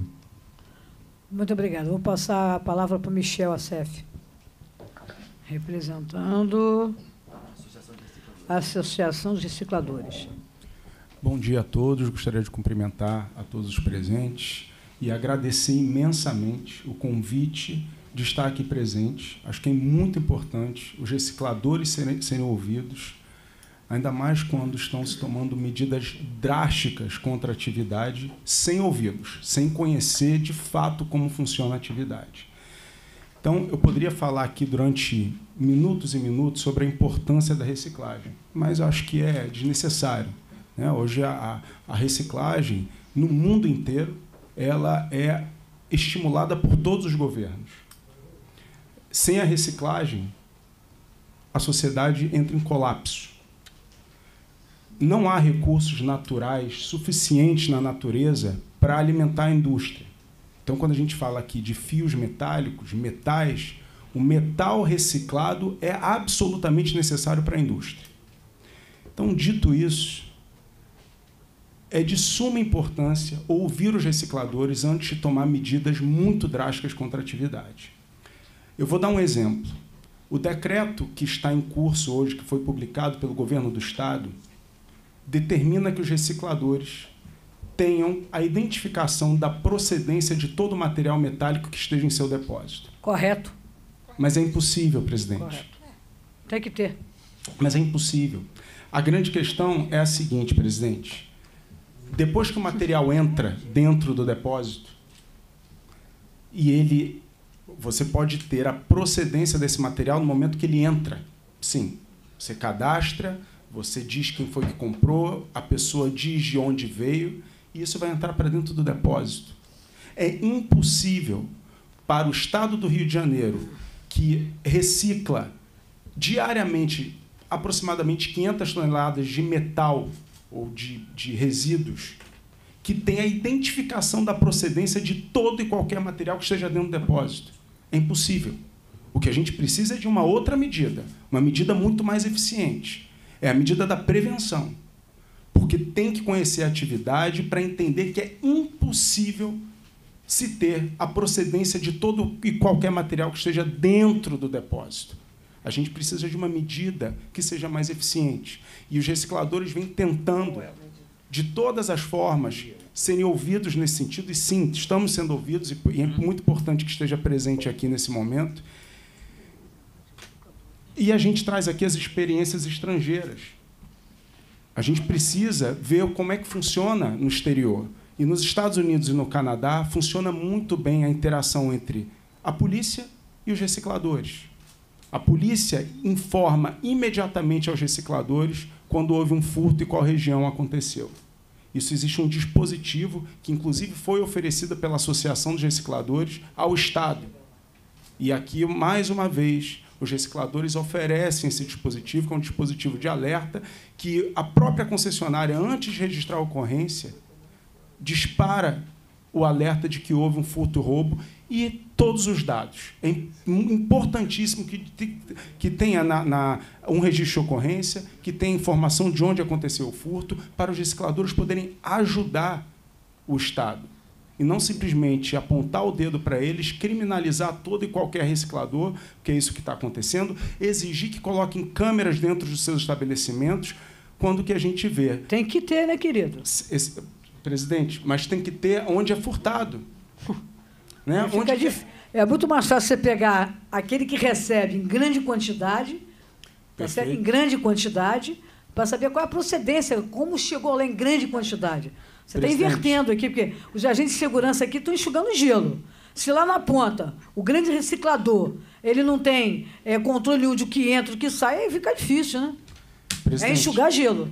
Eu compreendo essa posição, eu compreendo. Podemos ter, não tem problema, mas a, o, a vítima do furto e do roubo precisa tomar medidas eficientes para coibir o furto e o roubo. A gente tem um problema social no estado do Rio que não vai acabar tão cedo. Ou seja, as pessoas são necessitadas e, e, de fato, estão acessando um local fácil que tem buracos na parede para furtar e aí vão vender numa atividade que que na maior, isso é muito importante. O material furtado, material ilícito para reciclagem é insignificante do ponto de vista econômico. Absolutamente insignificante. O reciclador grande e a indústria que compra esse material reciclado, ele não quer material ilícito. Ele não precisa disso uma empresa que trabalha, uma das empresas, por exemplo, que trabalha com 150 toneladas de resíduos diariamente, vindos de Petrobras, vindo de, de grandes indústrias, ela não precisa do material furtado, aquilo é insignificante. Então, se a gente pode então compreender. Então não compra, né? Excelência. Seria acontece, ótimo, então não compra. Já acontece tem da Petrobras, que... não precisa comprar o material. Perfeito, mas é, é porque é impossível identificar. O problema é esse. O problema é identificar a procedência. Então, como é que funciona? Catadores, é assim que funciona a reciclagem, precisa entender. Os catadores que fazem um trabalho de formiguinha, que são indispensáveis para a reciclagem no mundo, eles vão vender para os recicladores varejistas. Os recicladores varejistas recebem aquilo de catadores, de pessoas que vão passando na rua e, e um, um, pedreiro que acabou com uma obra e o dono da obra fala não pode ficar com material. Vou pedir para você concluir, Michel. Vou sim, São, presidente. Deu meio-dia já, tem que ouvir os deputados. Vou sim, presidente. E o que acontece é que, quando esse material se chega para o reciclador varejista e ele acumula dentro do seu depósito, e ele não pode dizer... Se ele diz não para o material, se ele for de origem lícita, ele vai para o aterro. Ele tem um problema ecológico, ambiental enorme. Então, o que a reciclagem não pode deixar de comprar. Ela tem que colaborar de alguma forma com a sociedade para tentar evitar o produto ilícito. A reciclagem não quer comprar o produto ilícito, isso tem que ser compreendido por todos. Tá bom. Tá? Obrigado. Ok, Vou obrigado, passar a palavra aqui para o deputado Spau, depois tem o deputado Leomar Coelho, Valdec, Rejane, Marta. Pode ser assim, Martinho? Pode ser assim, Leomar? Pode. Pode, obrigado. O pode do meu Paraíba é forte. Deputado Presidente, Paulo. vou fazer perguntas a algumas pessoas para ser mais rápido. Começar aqui com o nosso ISP. É o Leonardo. Doutor Leonardo. Na, na página 3 do documento que o ISP nos enviou, o senhor diz o seguinte: importante frisar que os números apontados na tabela acima podem, podem são de livre preenchimento da Polícia Civil. Ou podem ou são. Aqui eu não entendi o português. E aí, o senhor continua, né, dizendo que aí muitas vezes vem ignorado, sem formação, outros, etc. Né? É claro que o senhor está tabulando o dado. Né? Mas quem é responsável para que essas coisas sejam feitas e preenchidas corretamente é a própria Polícia Civil. Então, se os dados não estão vindo a contento, a própria Polícia Civil pode normatizar para esse preenchimento ser mais claro. É isso que eu estou querendo dizer. Porque esse seu texto aqui, desse parágrafo, está tá confuso. Essa é uma questão. A outra, senhor Leonardo, é que na sua exposição deu para depreender que o senhor tem esses dados tabulados no sistema metroviário e no sistema ferroviário. E aqui eles estariam juntos. Eu não consigo aqui realmente saber o que, que foi na ferrovia, o que, que foi no metrô. O senhor tem essas tabelas né, divididas por metrô e ferrovia? Eu continuo para os outros? Ou, ou, ou, Pode continuar. Então, essas são as duas questões que eu gostaria que o senhor nos esclarecesse. E acho importantíssimo também o trabalho do ISP, né? porque sem essas, tabula essas tabulações e o livre acesso, fica muito difícil fazer as análises do que está, estão ocorrendo nas diversas áreas é, de segurança pública. Presidente, veja só. Eu parto do pressuposto que cada estação da Supervia tem uma câmara de registro. Aquelas que não têm. Deveriam ter. Que, que, que, que alguém furtou, adulterou ou eliminou essa câmara. Então, de, de per si, essa estação é um ponto de investigação.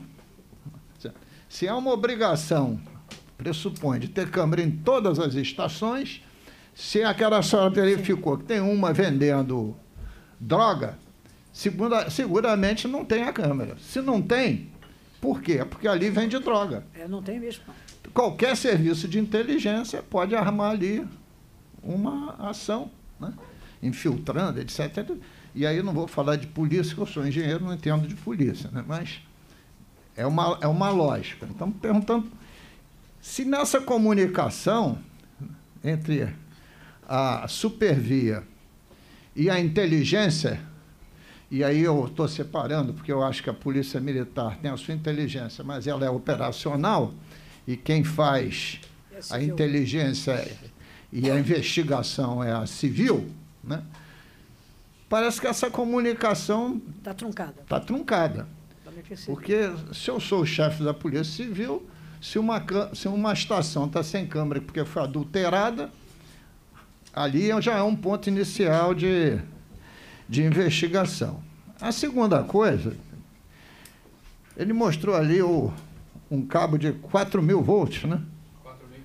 4.400. A gente tem experiência com 110 e 220. Imagina. 4.400 torra qualquer um torra qualquer um. Né? Não leva a óbito, não. Né? Torra qualquer um. Ora, não é qualquer um do povo que tem essa capacidade. Que tem essa capacidade. Isso é um indicativo que há, no mínimo, um sistema organizado para fazer isso. Verdade. Então, se uma coisa assim, robô cabo é genérico. Se robô cabo daqueles que transmitem os sinais para os relés, pode ser qualquer um. Né? Que até o, o, o, caso ali que citou o capitão, o capitão, não, desculpe, o major, de um cidadão que queria pagar a faculdade meio romanceado, mas né? é, é verdade, o senhor colocou. Não? Festa de aniversário. Festa de aniversário, mas de qualquer meio romanceado, porque a maioria não deve ser para isso. Mas naquele dos 4 mil, é a indicação que existe ali uma quadrilha. Né?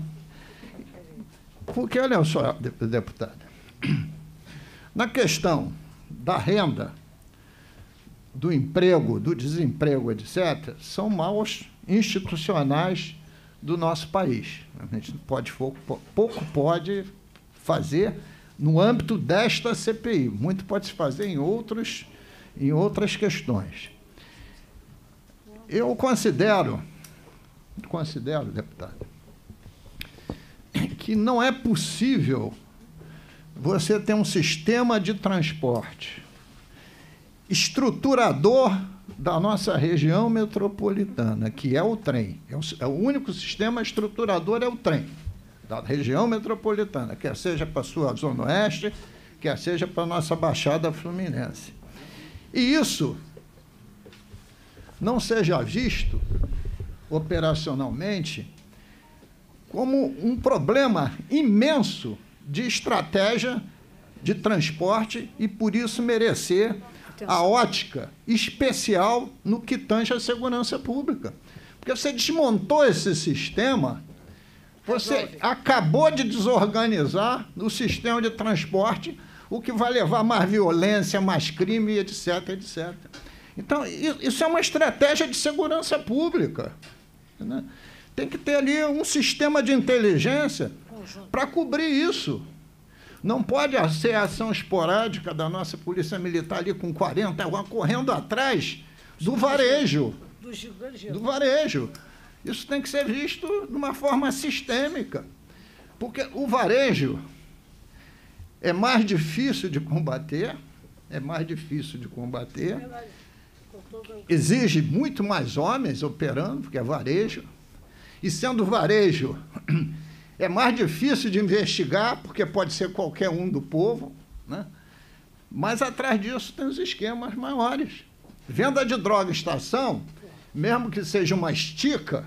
Bote estica nisso. Tem uma base da onde essa estica sai. Né? O, o, o cabo de 4 mil, que só pelas dimensões é muito mais atraente que o cabo de sinalização, ou os relés, isso é de uma gravidade imensa, com riscos seríssimos. Desastre. E de desastre, mas também afeta as operações cotidianas. Então está me parecendo que precisa, na estratégia de segurança pública, não é o coronel Lobaço que está fazendo essa estratégia, ele só é um componente disso, né? mas precisa, na estratégia de segurança pública, uma dedicação especial. Nesse momento. Né? Principalmente agora. Como, é, eu posso ter quatro, quatro a cinco, disse aqui o doutor Sanches, Sim. quatro a cinco roubos de carro, de cabo por dia, ameaçando hoje 300 mil usuários, e a gente vai ficar batendo palma para maluco dançar, como diz a linguagem popular. Então precisa de uma estratégia. Porque isto vai resolver o problema da operação? Não. Não, mas vai mitigar esses problemas. Vai atenuar um pouco. Porque não tem um dia que eu não ouço rádio, vindo aqui para Alerj, geralmente rádio do carro, né? que não tem uma notícia que o roubo do carro de cabo prejudicou a operação XYZ. Né? É cotidiano. Claro que eu sei que metade, por exemplo, da cidade do Rio de Janeiro está territorialmente com predomínio do narcotráfico e do, das milícias. A gente sabe disso tudo porque a gente acompanha e lê. Mas eu acho que esse é um eixo central. A senhora veja, sistema ônibus está decrépito. Né? Veja os problemas todos para comprar ônibus, o BRT, disser que está tendo a Prefeitura do Rio de Janeiro. Barca está funcionando sob liminar. De hora. Se o trem é degringa de vez e vem perdendo o usuário é, dia a dia, né? aí mesmo, Verdade. desculpe, que desestruturou, desestruturou tudo. Então, eu queria deixar essas questões, ver se alguém aí pode dizer por que, que isso não vira uma estratégia de segurança pública, como tem tantas outras. Eu acho que a ação da Polícia Militar é importante, o registro é importante, Mas se isso não tiver uma estratégia, não for uma questão de Estado, com um serviço de inteligência funcionando no nível maior, a gente vai estar aqui, desculpe, enxugando gelo. É quando eu falo a palavra, a, fala, a frase enxugando gelo, porque na gíria é isso mesmo, enxugar gelo. Eu vejo nas palavras do deputado Luiz Paulo, acho que é a preocupação de todos nós parlamentares, no sentido de que isso seja uma, uma demanda do Estado, o Estado assumir essa responsabilidade, porque se diz respeito diretamente à vida do trabalhador. Porque quem está perdendo emprego, quem está chegando atrasado, é o trabalhador que usa o sistema ferroviário. Vou passar a palavra aqui para o deputado Eliomar Coelho. O senhor não quer que ele responda primeiro, não? Não, não. Tá tudo de dois, de dois, duas perguntas, aí responde. Acho que é melhor assim, Luiz Paulo. Tá a senhora manda, presidente. Eu não mando, eu converso com vocês sempre. Eu sou o mais democrático possível. Uma CPI que demorou um ano e meio para ser instalada tem que ser muito democrática, não é verdade? Exatamente. O que, o que é aconselhável é o centralismo democrático. Bom, inicialmente, boa tarde. Já deve ser boa tarde já, né? Boa tarde para todas e para todos, não?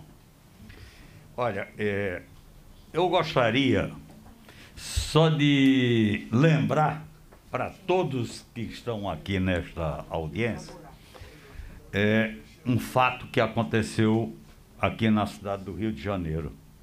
Há uns anos atrás, conseguiram roubar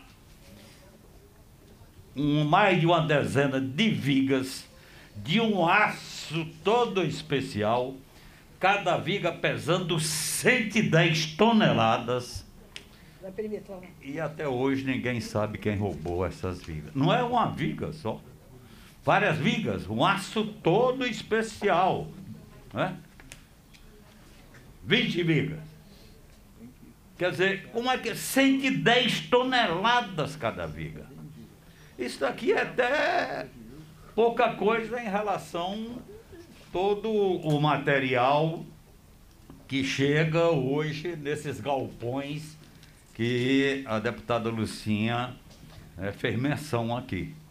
Então, é claro, se você, diante de um roubo desse, quer dizer, viga de 110 toneladas, até hoje não conseguiu chegar quem que de fato roubou essas vigas e ficou por isso mesmo, é claro que automaticamente está aí o caminho aberto pela impunidade exatamente para se fazer outras ações desse tipo, porque realmente. Olha, eu, eu, eu, eu, eu ouvi atentamente as intervenções. É claro que a intervenção da Polícia Militar é importante, a intervenção da Polícia Civil é importante, a ação do concessionário é importante, os recicladores, é, tudo, tudo é importante. Agora, eu vejo que um dos problemas é que não há integração entre as ações desses digamos, protagonistas, desses eh, executores, né? é, é uma coisa estanque. Esse é que é um grande problema. Porque o problema da supervia não é um problema é, que reside única e exclusivamente na questão do, do, dos roubos de cabos. Tem uma série de aspectos, outros, que deverão ser vistos de acordo com aquilo que o deputado Luiz Paulo está colocando, em termos de eh, construção de uma estratégia, a construção dessa estratégia não pode ser só em cima do furto dos cabos. Não é só isso. Tem que ser o furto dos cabos. Inclusive foi colocada a questão social. Veja bem, segurança para o usuário é a coisa mais importante. Porque a segurança não significa só é, a segurança significa estar tá garantido para ele a pontualidade, significa estar tá garantido para ele o conforto, significa para ele. Tá, quer dizer, é isso daí. Então, está faltando, porque foi citado o que aqui? Mais ou menos está havendo uma inter-relação entre polícia militar, polícia civil e judiciário. Quer dizer, descobre-se prende, autua, e o judiciário ainda pode liberar. Liberar. Quer dizer, desfazer todo um trabalho que foi feito. Quer dizer, então, é, é, há uma desconexão do diálogo que deve existir entre várias, várias, digamos, políticas que têm a ver com essa questão. A ocupação totalmente desordenada que hoje acontece no entorno das estações. Exatamente com. É, até impedir o ir e vir no entorno da circulação das pessoas, porque está tudo ocupado, segundo relato aqui apresentado, é por é, quiosques montados para venda. Quer dizer, todo um problema social que tem que ser é, resolvido. Quer dizer, as pessoas precisam. O, o que a gente está vendo hoje no estado do Rio de Janeiro parece que é uma ausência total de sentimento dos homens públicos desse estado, dos governantes. Infelizmente é isso. Infelizmente é isso. A gente tem que colocar esse negócio. Como é que, como é que pode entendeu? As coisas que nós estamos assistindo, você abre o jornal, a matéria de página inteira dizendo que os, a milícia está tomando mais territórios. O que, que, é isso? Se está tomando mais territórios, significa que, que há uma ausência de um segmento importante do Estado no coibir essa expansão então, o, nós somos reféns do tráfico. nós somos reféns. Eu pedi ao meu, dos... meu amigo deputado Lemar Coelho que ah. direcione a pergunta. Nós somos reféns é, dos milicianos.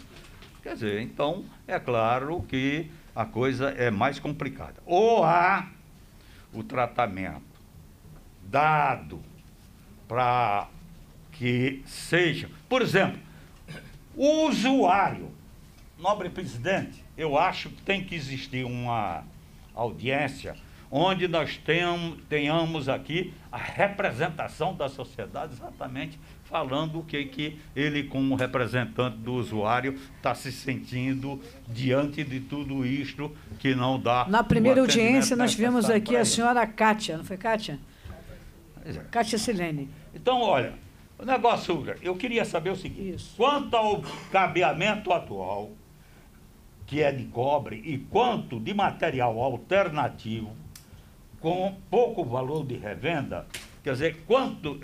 Porque quando eu falei no negócio da fibra ótica, é exatamente o material que deva ser enterrado a uma determinada profundidade, que dificulta, e não só a dificuldade é apresentada por isto daí, mas também pelo preço de revenda da fibra ótica, que é, bem reduzido em relação ao preço do cobre.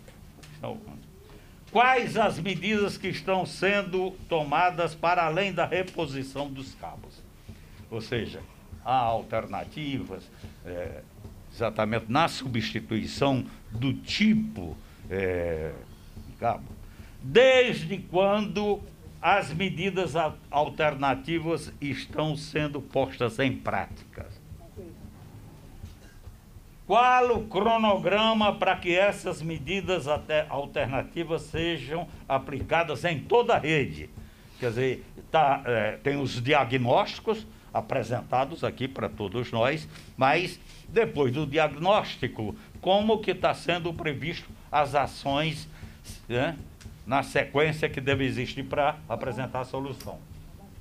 Já é sabido que é preciso uma estrutura para captar o cobre furtado. O que foi feito até então, do ponto de vista de investigações, para desmontar essas operações?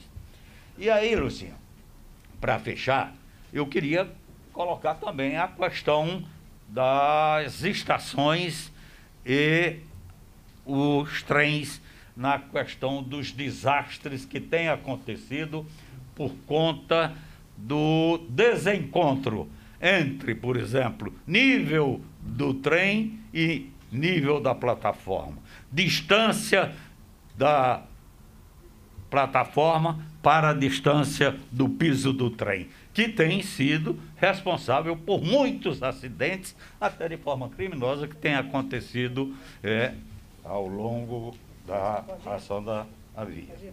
Tá. Só o que foi feito até então para a regularização das estações. Existe algum cronograma para isso?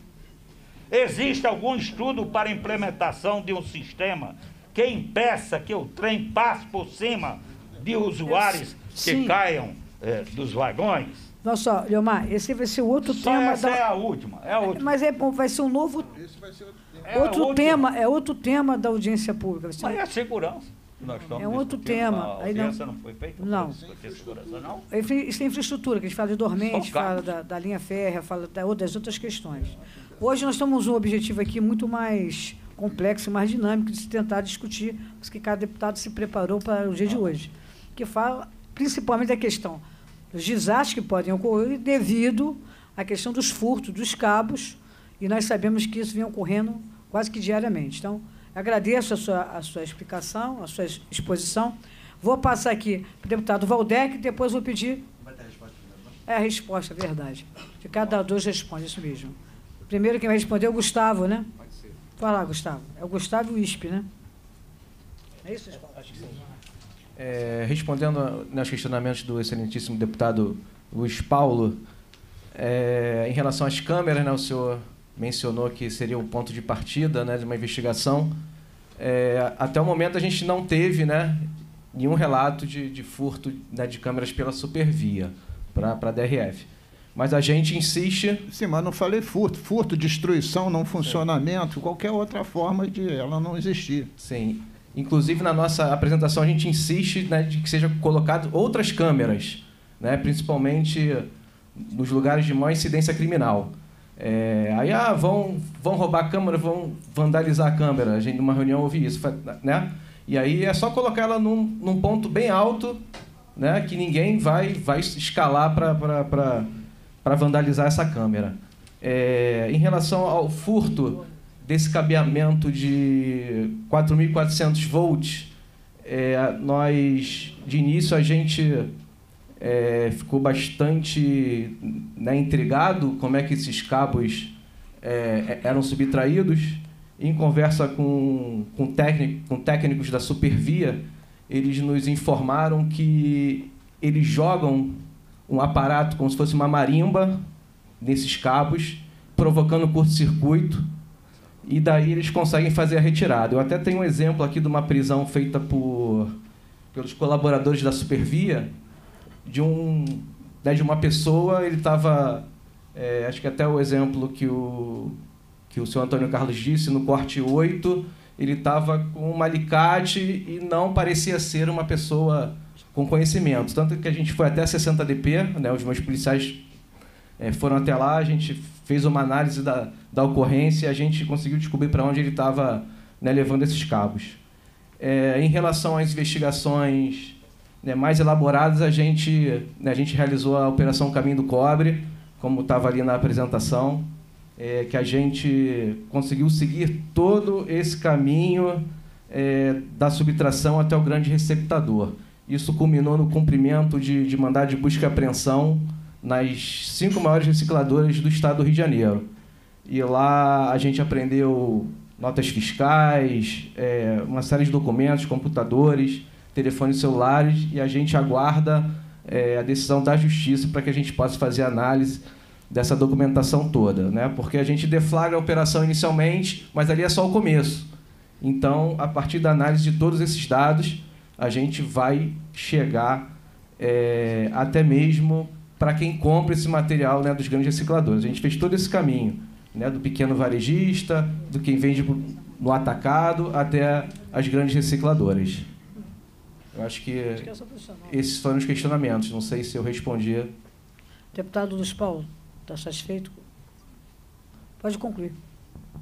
Enfim, aí é isso. A gente tem essa operação ainda, então a gente está aguardando o deferimento pela Justiça da quebra de sigilo para que a gente possa analisar e assim avançar ainda mais nessa investigação. Todo esse material está apreendido e está aguardando a, a- autorização da Justiça? Sim. Há quanto tempo? É, se eu não me engano, foi em setembro. Outubro, novembro, dezembro, janeiro, fevereiro. Seis meses. Isso era um inquérito mãe, nós desmembramos em cinco inquéritos, cada um para cada recicladora, e estamos aguardando. Deputado, deputado, Pode presidente, falar.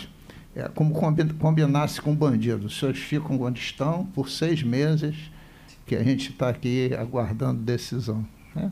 É uma, é uma. Eu digo para vocês que eu me sinto assim até um pouco envergonhada, porque há seis meses esse material todo ele é apreendido sem a perícia, fica muito difícil, né? Não, não é isso não, deputado.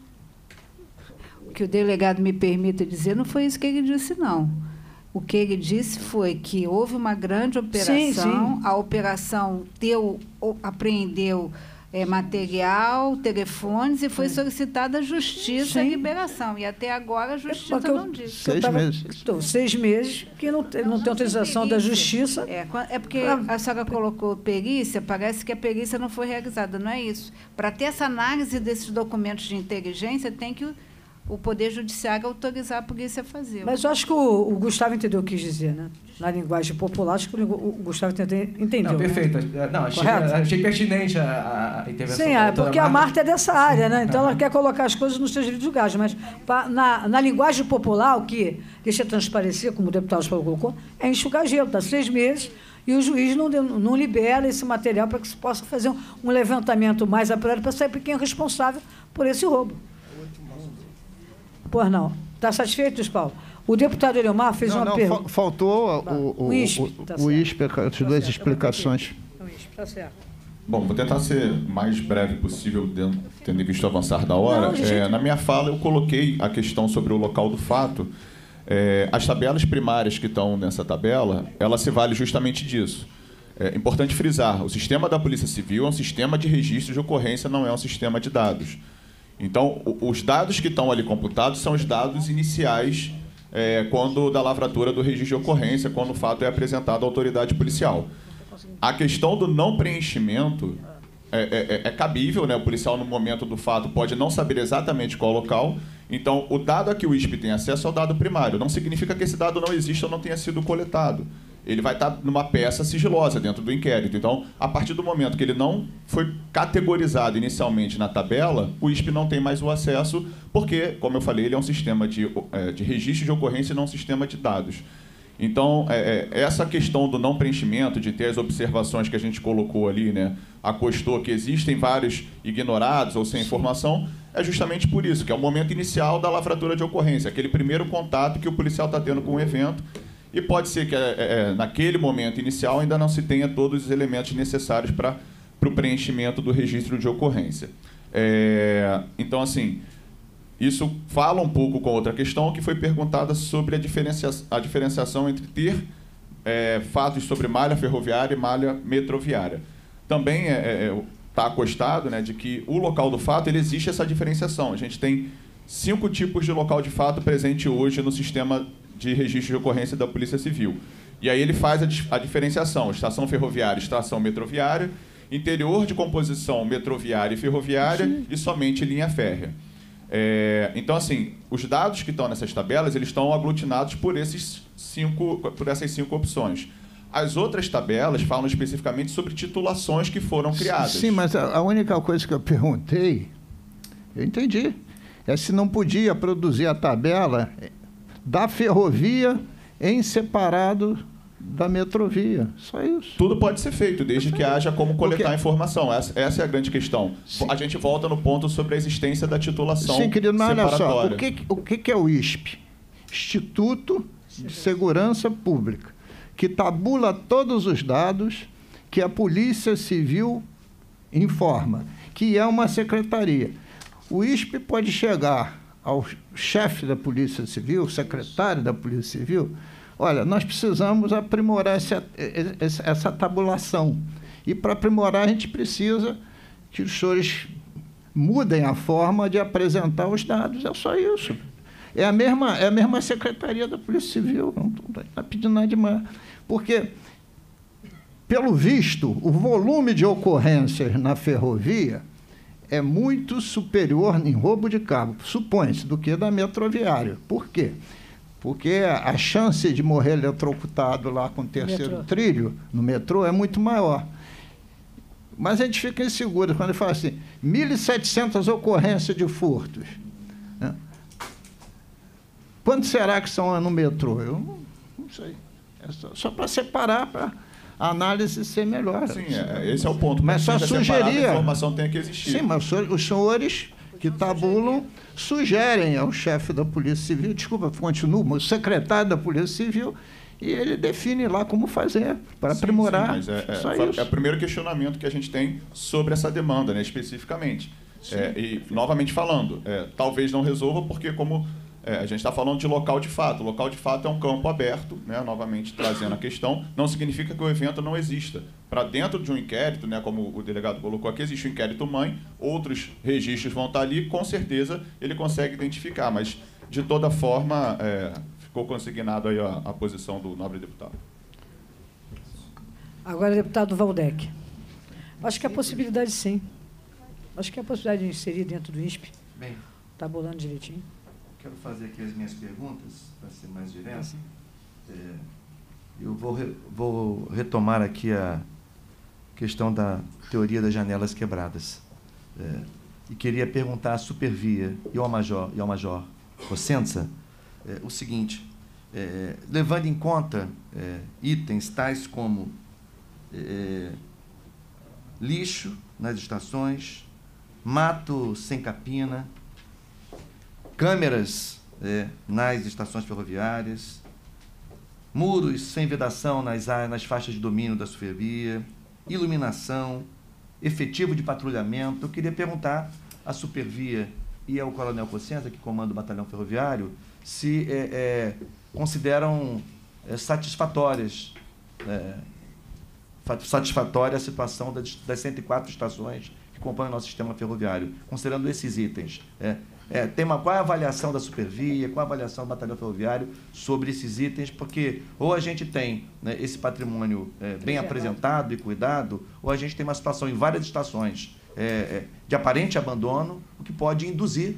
né, o meliante a achar, olha, esse é um terreno fácil para mim. Esse treco está abandonado mesmo, então eu queria saber qual é efetivamente a avaliação da Supervia e do Batalhão Ferroviário sobre esses itens é, que poderiam representar um, um cuidado maior com o patrimônio ferroviário estadual. Pode responder.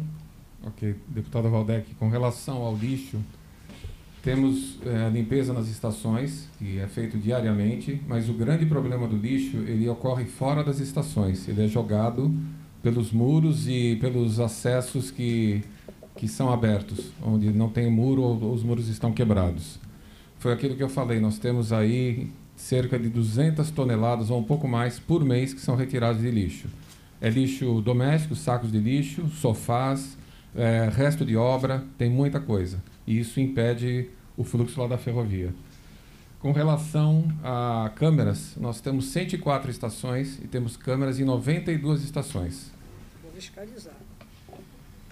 Por que não temos em outras? Porque não conseguimos instalar em todas as estações, por dificuldades com relação até o nosso acesso na estação. Eu quero dar um exemplo Eu aqui. entendi bem. Eu vou citar uma estação, que é do ramal Santa Cruz, Senador Camará. Não vai botar nunca lá. Foi lá onde eu achei uma loja do tráfico. Nós na achamos. plataforma, nós, nessa Nós achamos. Uma loja do tráfico. Então, na essa- plataforma da estação Senador Camargo, Essas, exatamente lá. essas 12 estações já são pontos de investigação. Deputado Valdec, nessa, nessa estação, por exemplo, o nosso funcionário ele tem dificuldade de acessar para poder atualizar o validador. Que nós temos que fazer sistema validação. Muitas vezes o bilheteiro nós temos que deixar aberto para e não cobrar passagem pela dificuldade que nós temos eh, de atuar na estação em todos os sentidos. Instalar uma câmera, eh, fechar um muro. Então, Vamos isso- dizer, ali ninguém quase paga passagem. Né? Exato. É, livre acesso. sim. E o Então, tráfico trabalha ali direto, ali na Então plataforma. fica, fica a dica, né? As nossas autoridades policiais, essas 12 estações faltantes, né, provavelmente são estações em que a gente deve ter, se é que já não está tendo, tô- não quero ser leviano, mas uma atuação muito ostensiva. Porque essa supervia não consegue instalar câmeras. Eu, ti- eu andei de trem quinta-feira, Voltec, passei por lá novamente, está do mesmo jeito que nós visitamos há um ano atrás, na 92 comissão para especial. 104, faltam 12, né? Exato. É. É, deputado Valdec, com relação à, à vegetação, nós temos um programa de poda, é feito capina química e poda em árvores, né, aquilo que vai crescendo. Tem alguns locais que a gente não pode fazer a poda, porque eles acabam camuflando um muro quebrado, uma instalação ali irregular que serve de rota de fuga. Então a gente acaba, o nosso funcionário não pode fazer a capina naquele local. Isso É. informa a Polícia Militar e a Civil? Sim, o nosso pessoal tem essa, esse contato direto. Com relação aos muros, no ano. Não, vai responder o Valdec. Não, não, vai responder o, Vai o capitão Cossena, Major Cossena também. Primeiro, quem responde é o, é o Antônio Carlos, depois o... E, e tem que responder o que eu perguntei também, que eu Vai. não- não estou sentindo contemplado com resposta Eu vou nenhuma. pedir, vou pedir, vou pedir a compreensão do deputado eh, Eliomar Coelho. Nós vamos também solicitar a resposta às suas perguntas. Pois não, Valdec, continua. Não, não, ele está respondendo. Ah, está respondendo, perdão. Com relação aos muros, o ano passado a Supervia fechou 100 aberturas de muro. E a abertura que eu digo não é um buraco, tem buraco e tem trechos de 2, 3 metros sem muros, que são abertos. São abertos para a população circular, ou para a rota de fuga, ou inclusive para acesso de veículo, cruzar a via. Nós fechamos 100 muros o ano passado, só que é, 30, 40, 50, até 50% são reabertos em dois, três dias. E a Supervia fecha o muro e coloca a sinalização, alertando dos riscos e tudo mais. Eu sei que tem um projeto bastante importante com a CETRANS, com a Central Logística.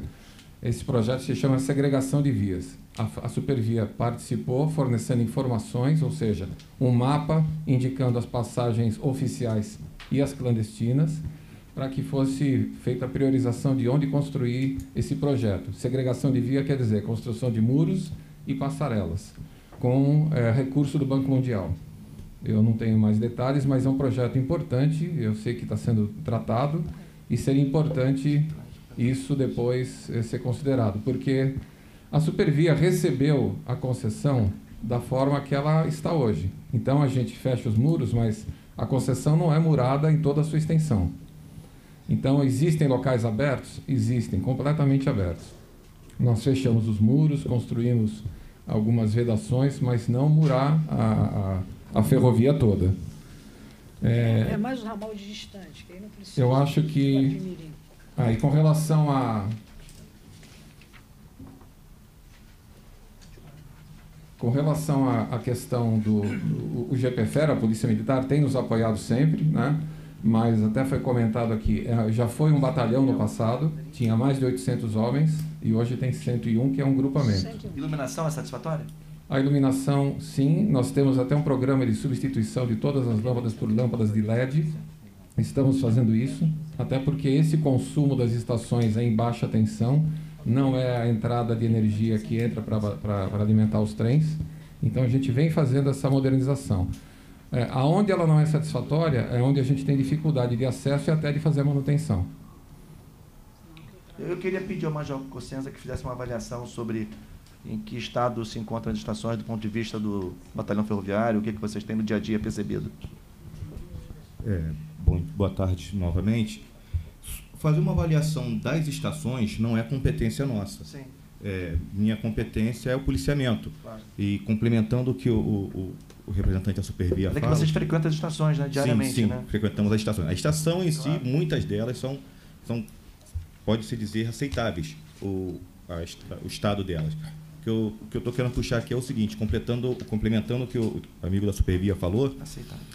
em se tratando de buracos na, na, na malha ferroviária, nas, nas barreiras da malha ferroviária, nós temos sim au- auxiliado eles muito nesse, nesse sentido é, de fechar, eles fecham esses buracos e eles são reabertos realmente por- pelos usuários da, que moram perto da- das estações, usam como caminho para não pagar a, a passagem.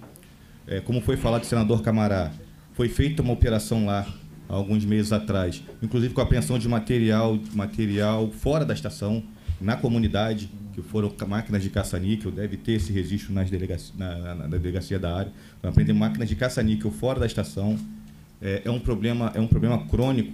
É, algumas estações realmente o acesso a ela é ruim, o acesso que eu falo é de policiamento, de patrulhamento em virtude do confronto com com, com o tráfico de drogas do local.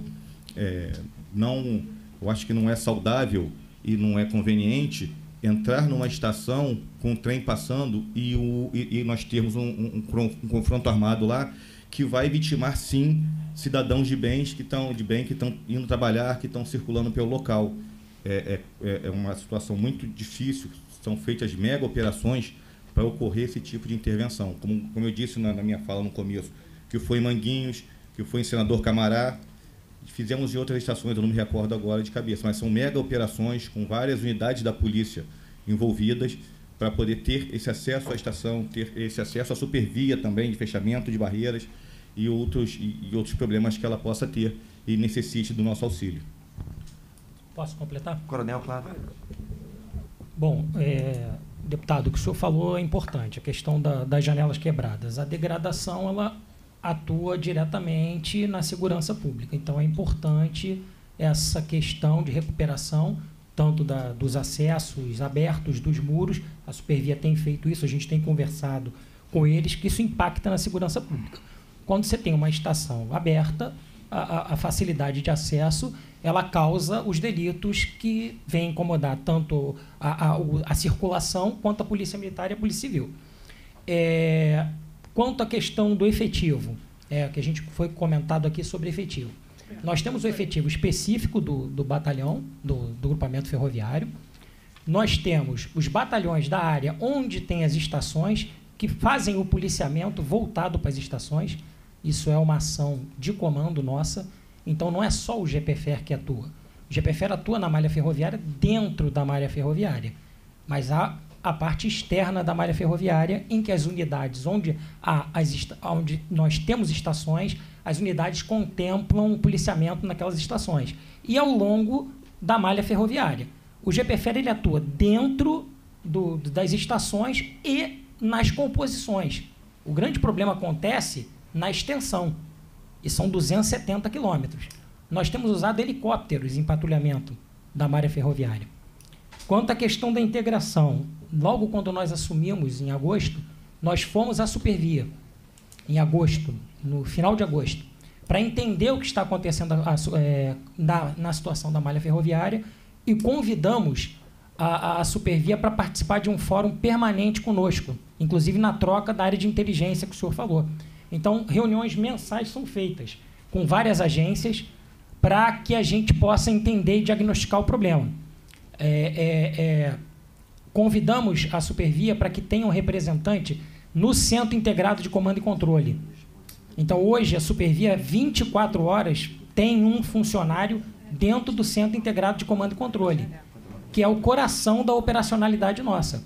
Então, quando há um, um delito é, detectado por eles, eles têm a facilidade de nos avisar o mais rápido possível para que nós possamos agir.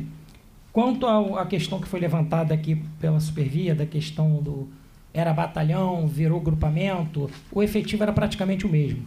É, é, o grupamento ele tem mais a, a, agilidade e mobilidade, não tem o peso administrativo de um batalhão de polícia militar. Então, o último, quando éramos BPFER, ele tinha 180 policiais, só que 80 eram afastados do serviço. Hoje, então, eram 100 policiais que trabalhavam como são hoje. Sendo que o BPF recebe apoio do regime adicional de serviço e do CEPROES, em que isso está mais de 170 policiais. Então, só para contextualizar, e não são só eles que atuam na malha ferroviária. Só para complementar. Acho que é a resposta que ele fez contemplou. Você vai fazer agora Eu, eu vou fazer logo um bloco, que é, como teve resposta em seguida, Sim, fazer eu logo só um queria, bloco. só queria aproveitar, sem desmerecer nobre coronel de polícia militar, eu quase não vejo o batalhão da área ajudando a fazer o policiamento nas estações de trem. Eu quase não vejo. Na parte externa, você pega Senador Camará, você pega Padre Miguel e outros, você não vê. Eu não vejo. E eu rodo o ramal, o ramal Santa Cruz praticamente todos os dias. Então, eu não vejo, gostaria de ver. Então, das próximas vezes que eu fizer uma. Estiver andando de trem para vir para a Assembleia Legislativa, que eu pego o trem, pego o metrô, eu vou parar em cada estação e vou filmar. Porque a última vez que eu fui tentar filmar senador Camará, mostrei para a Marta. Vai vir comigo com uma arma. Eu falei, meu amigo, eu não estou aqui para brigar contigo, não. Tu vai vender teu bagulho lá. Eu quero mostrar aqui que a estação tem uma porcaria, não tem banheiro, não tem escadaria, mas ao mesmo tempo eu tive a oportunidade de ver de perto o que estava acontecendo. Então eu não vejo o policiamento, infelizmente, Lobato, eu não vejo policiamento dando esse suporte ao longo da, da, da, da linha férrea e principalmente próximo essas estações que são as conflitantes, que não é só no ramal de Santa Cruz, não. Se levar que é ramal também da Baixada, tem várias estações nesse sentido. Essas estações conflitantes, o Rossianza até fez uma consideração sobre isso. Né? Sim. Aí a gente tem que ter uma grande operação para que a gente possa atuar ali. É, eu, eu, eu espero, que Lobaço, que vocês façam uma grande operação para pelo menos diminuir Né? Fizemos. Você não vai terminar, mas diminuir, porque o negócio chega a ser escancarado. Fizemos, fizemos em algumas, já fizemos. Justamente a, a minha outra pergunta era nesse sentido, porque apesar dos esforços que estão sendo feitos, eh, segundo as apresentações eh, né, exibidas aqui, eh, os dados não são bons. Não é? Presidente, os dados não são bons. Né? Os indicadores que eu tenho aqui de que do período de janeiro a novembro de 2021, comparado com o mesmo período do ano anterior, eh, o, o, os eh, acontecimentos aumentaram, Marta, em mais de 300%. Não é? Em janeiro, de, entre janeiro e novembro deste ano, foram 759 casos registrados, não é? Eh, E no ano passado, no, e no ano 2020, eh, ao longo de todo o ano, 355 casos. Só em janeiro de 2022, foram mais, só em janeiro de 22 foram mais de 200 viagens canceladas ou interrompidas por causa de, do roubo de, de cabos. Então, assim, apesar dos esforços, os indicadores parecem piorar. Então, queria perguntar né, para a Polícia Civil e para a Polícia Militar o que, que falta fazer?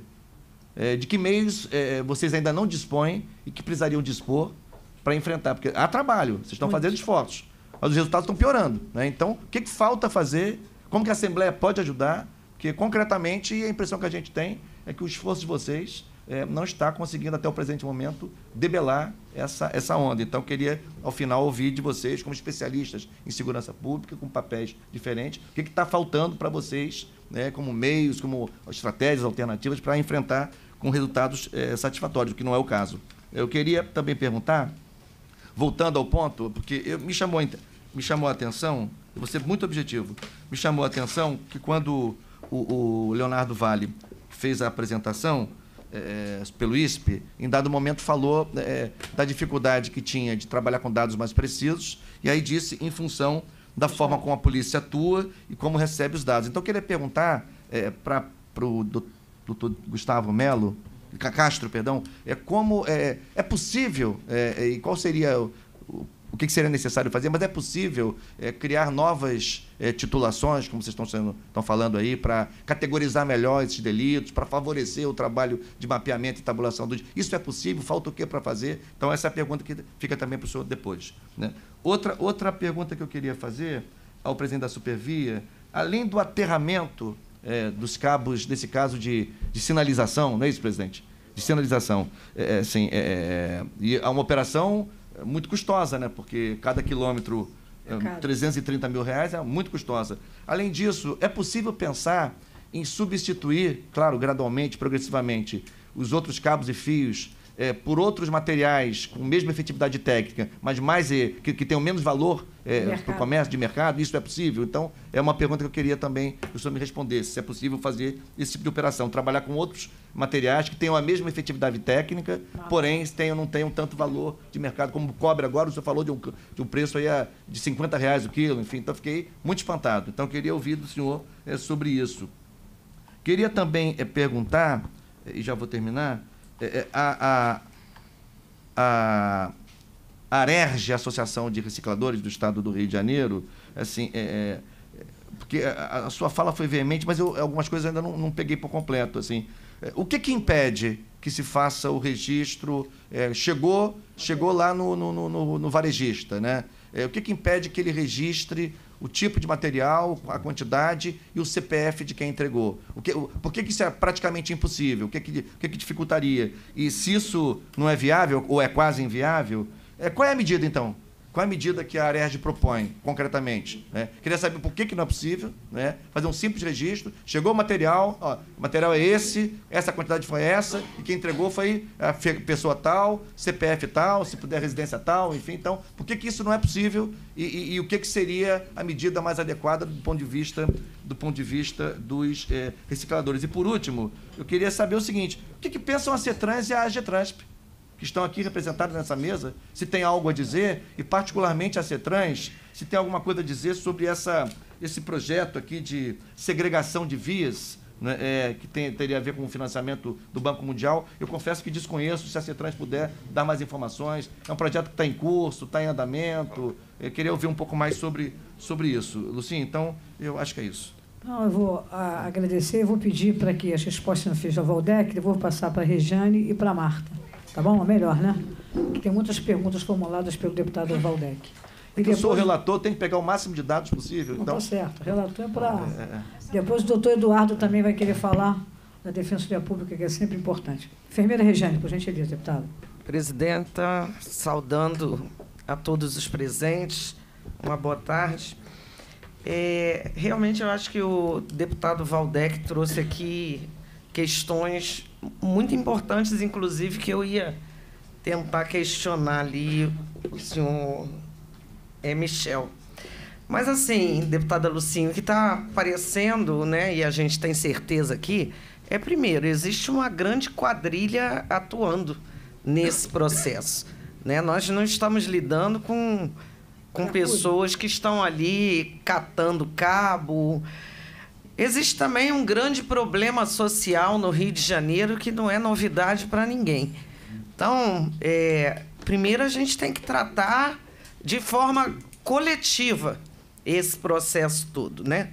Tem um, uma- um- um sistema que está aí é, na responsabilidade da Supervia, que cuida das plataformas onde a população é, é, usa, mas que tem todo um trajeto que precisa ser monitorado, que precisa ser cuidado e que envolve milícias, envolve tráfico, envolve é, a questão social. E aqui a gente ainda não viu é, uma, uma, um trabalho em conjunto é, de todos as, os atores que estão aqui dentro.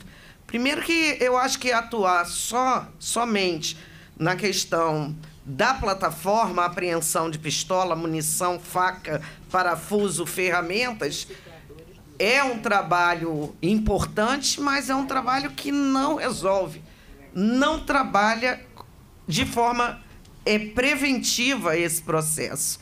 Né? Eu acho que trouxeram aqui vários, várias atuações pontuais, arrastão, institu- instruções para quem trabalha ali dentro, mas o problema é bem maior. E a gente não está conseguindo, é, de vocês, uma, uma atuação em conjunta para que chegue aqui, ó, nós estamos todo mundo trabalhando de forma coesa para que isso não aconteça. Então, tem vários questionamentos que a gente não consegue, Valdec, ter clareza. Por exemplo, essa limpeza diária da, da, da, da- das estações, tudo bem. Agora, do processo, como é que isso é feito? Eu nunca vi um vagão, não sei se a Lucinha já viu, um vagão que recolhe lixo. Não sei se foi isso que eu entendi. Mas eu nunca vi, não sei se a Lucinha ou outras pessoas Nunca tive oportunidade. aqui já viram esse tipo de trabalho. Eu, particularmente, eu nunca vi. O trem ir parando e catando é, é, é, resto de obra, saco de lixo, eu nunca vi. Nunca vi também, deputada Marta Rocha, como é realizado a questão da fiscalização nos vagões femininos.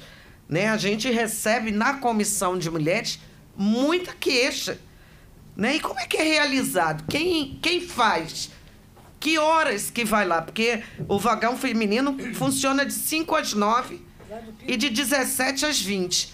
Como é que é feito isso de fato? Como é que a polícia vai lá ver se tem gente, se não tem dentro dos vagões é feminino? E as questões aqui são colocadas de forma muito vaga e a gente não tem é, efetivamente é, é, é, é, como é que isso funciona no dia a dia da população que a deputada é, presidenta dessa comissão traz muito bem, porque ela anda todo dia de trem.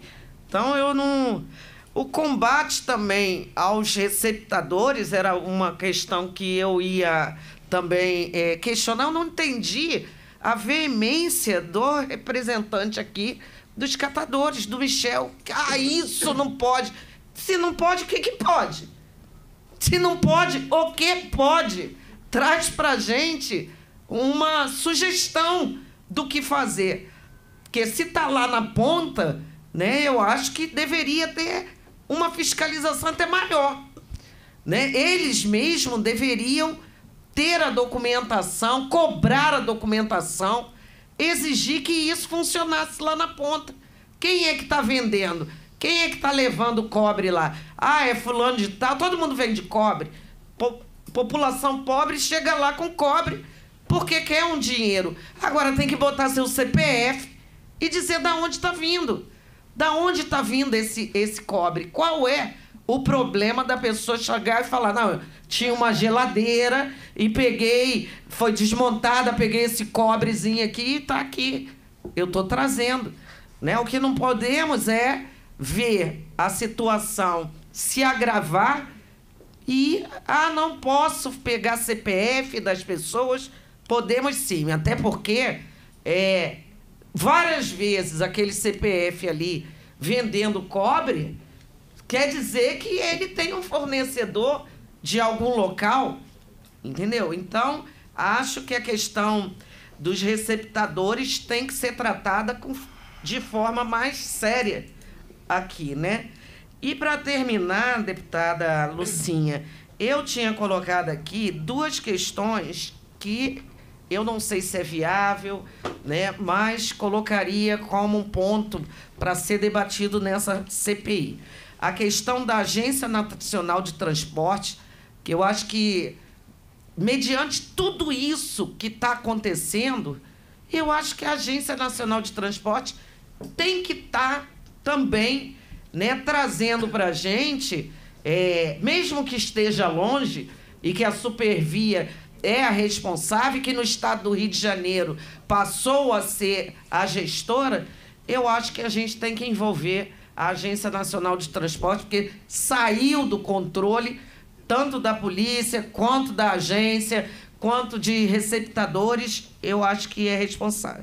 Que ela poderia também, mesmo a gente poderia estar tá, tá, é, é, pensando em alguma questão porque é responsabilidade da agência, principalmente quando ela se coloca a parte desse processo de transporte de passageiro e bota só transporte de carga. E a outra questão é a polícia ferroviária. Existe um projeto nacional de criação da polícia ferroviária, né, que está lá no Congresso Nacional, não sai, não anda, é, os senadores estão sentados em cima e se isso seria também uma possibilidade, sabe, de tentar deixar a polícia militar, a polícia civil fazendo a atuação que é responsabilidade delas, né, de fazer muito bem e ser criado, né, e forçar a barra lá em Brasília para criar uma polícia é, ferroviária que fique aí na responsabilidade não só da, plata, da plataforma, mas também de todo o trajeto, que eu não sei como a polícia militar pode fiscalizar toda essa esses 240, não sei, 104 estações e não sei quanto de quilometragem para ver lá um ferro que está sendo roubado. Então, deixo de sugestão para a CPI a gente também tratar essa questão da polícia ferroviária. Eu vou Obrigado. tentar encaminhar para que a Agência Nacional de Transporte também possa vir participar da audiência. Com a palavra agora a deputada, a deputada Marta Rocha. Presidente, eu quero mais uma vez saudar Vossa Excelência, não só pela iniciativa de criar a CPI, mas também por essa condução, é, saudar de forma muito fraterna a Polícia Militar e a Polícia Civil, pedindo ao Coronel Lobaso que leve nosso cumprimento ao Coronel Henrique e ao delegado que já vai voltar, doutor Gustavo, ao novo secretário da Polícia Civil, Fernando Albuquerque. Eu quero fazer rapidamente algumas considerações e transmitir aqui algumas inquietações que eu trago comigo. Né? Primeiro, na exposição que foi feita pelo delegado da DRF, doutor Gustavo, ele citou a Lei 9169, que é uma lei promulgada em janeiro de 2021, e é uma lei de nossa autoria, deputado Valdec, né? É da deputada Marta Rocha, subtenente Bernardo, Valdec Carneiro, Rosenberg Reis, Bruno Dauário e Chicão Bugães. Essa lei é fruto, doutor Gustavo, de um trabalho feito nessa casa da Frente Parlamentar de Enfrentamento ao Roubo de Carga porque acho que é isso que tem que ficar claro, acho que foi isso que disse a Polícia Militar e a Polícia Civil. Essa venda e essa retirada desses cabos, ela só é acontece em grande escala porque lá no final dessa linha tem alguém que compra esse material. Né? Então, ela é economicamente viável a realização desse tipo penal. E eu também quero me solidarizar aqui a falar da deputada enfermeira Rejane, porque se na fala da representação da associação dos dos recicladores. dos recicladores, obrigada, que diz que não quer material ilícito, se não quer material ilícito, então tem que ter problema qualquer tipo de controle. Porque, em última análise, o que a gente quer saber é quem está comprando material furtado ou desviado. E o bom empresário deve zerar por isso. O bom empresário não deve ter no seu olhar né, qualquer tipo de preocupação com controle, e muito menos comprar, como bem colocou aqui a deputada enfermeira Rejane. Por que, que eu estou trazendo essas questões? Porque a lei que foi promulgada em janeiro, ela só foi regulamentada em setembro. E, às vezes, Coronel Lobasso, a gente recebe um veto que secamente diz assim: não é atribuição do poder legislativo. Então, assim, eu também não me contento com os argumentos bem colocados aqui pelo deputado Gus Paulo e respondidos pelo ISP, que o ISP diz que não é da sua atribuição ter o banco de dados. A importância do ISP é a pesquisa e o georreferenciamento. Se o ISP não consegue conversar com a Polícia Civil, estabelecer um alerta e dizer, olha, vamos melhorar vamos esse tipo, e eu apresentei já aqui, né? É, vamos lembrar que a questão do furto de bicicleta, da morte daquele médico, que é uma legislação do deputado André Siciliano e minha, né? nós conjugamos as duas legislações, e eu fui altamente questionada pela Polícia Civil, que não era da atribuição da, do Poder Legislativo fazer um projeto de lei para estabelecer um título para que nos permitisse a computar efetivamente o número de furto, furto e roubo de bicicleta. Então, a gente fica né, nessa divagação aqui é, de argumentos, mas que na última análise não vai trazer a solução. Nesse decreto, eu quero lembrar aqui que na nossa legislação nós colocamos a necessidade de um livro próprio, nós estabelecemos uma multa muito alta, de no mínimo 37 mil, a cassação e cancelamento da inscrição de CMS, um banco de dados, né? E hoje o próprio delegado da DRF ele já fala e ele colocou ali no seu na sua exibição da necessidade de um programa estratégico de segurança para o sistema ferroviário. Então, esse tema preocupa a Polícia Civil na análise que ela faz das ocorrências. E aí eu quero me dirigir aqui, já encerrando, e falando um pouco na linha do que o deputado Valdec colocou, eu me sinto desconfortável com o silêncio da Secretaria de Transporte e da agência reguladora. Na verdade, doutor Álvaro, com todo respeito, eu queria perguntar quantos cargos em comissão tem a Secretaria de Transporte porque eu não concebo que uma delegacia possa ter apenas 21 policiais. Se nós fizéssemos um enxugamento dos cargos em comissão da Secretaria de Transporte, talvez no seu orçamento o senhor pudesse pagar o RAS da Polícia Militar e o RAS da Polícia Civil. Então, eu, eu abro o jornal e vejo inauguração de segurança presente. Palmas para segurança presente. Cada um tem um, um colete colorido. Mas será que não seria importante a Secretaria de Transporte trazer no seu orçamento, já que não é possível que isso não assuste a Secretaria de Transporte? Não seria importante ter lá um orçamento destinado à, à contratação por RAS dos profissionais? Porque, Coronel, com todo respeito, Coronel Lobasso, por mais que o senhor possa querer nos dizer que os, a equiparação dos recursos humanos eram mais ou menos as mesmas, a natureza dos problemas e o número de problemas são infinitamente maiores. Então, seria muito bom para o seu batalhão, para o seu, seu grupo, desculpa, grupamento. seu grupamento, que tivesse ali, né, já que só tem seis no RAS, que pudesse ter 50. Talvez a, a, a Secretaria de Transporte pudesse estar ajudando. Como não seria bom para o doutor Gustavo, porque a prisão em flagrante é uma peça de início de uma investigação, se ele pudesse contar, por exemplo, com cinco servidores policiais no RAIS de segunda a sexta para produzir material para a investigação? Sem dúvida nenhuma seria muito bom. E aí a gente não entende. Tá, o muro está aberto, está aberto por causa de quê? Por causa do tráfico, por causa da milícia? Qual é o papel da Secretaria de, de Transporte? Né? Porque eu acho que a Secretaria de Transporte e a agência ela tem que ter um olhar de coordenação para dentro. Isso não é apenas um problema da Polícia Civil ou da Polícia Militar. É injusto colocar isso como problema apenas da Polícia Civil e da Polícia Militar. Isso é um problema de quem está na gestão do transporte público porque isso afeta diretamente a mobilidade e o serviço prestado. Como eu também acho que a Supervia deve ter um monte de coisa que gostaria de falar, que não fala por talvez por questões de segurança, e aí a gente também tem que se organizar para atender. E terminando, né, eu só queria fazer aqui duas sugestões, fruto da, do que foi dito tanto pela Polícia Militar quanto pela Polícia Civil, e acho que pode ser é, colocado, por exemplo, a Polícia Civil fala da necessidade das câmeras de monitoramento. O delegado falou assim: olha, vamos colocar a câmera bem alto para virar para cá, virar para lá. A Supervia gasta um dinheiro para submergir a fiação, perfeito, correto mas não me parece resolver o problema do monitoramento. E quando chega a polícia militar para fazer a ocorrência, como a polícia militar não tem bola de cristal, ela não pode dizer como é que foi feito o furto, como é que eram os autores. Se eu tenho imagens, eu tenho possibilidade de melhorar a minha investigação. Então, eu queria só sugerir, né, mesmo correndo o risco de lá na frente o governador dizer que não é a nossa atribuição, eu queria sugerir que a gente já deixasse me colocar à disposição para isso, deputado Valdec, deputada Lucinha e demais integrantes, é que a gente pudesse apresentar dois projetos de lei. O primeiro da titulação, bem colocado aqui pelo deputado Gustavo, pelo senhor, e o segundo dessa questão do fio queimado, que foi bem colocado aqui pelo delegado. Isso que não seja possível a comercialização, a comercialização. E trazendo para esse debate, como bem colocou aqui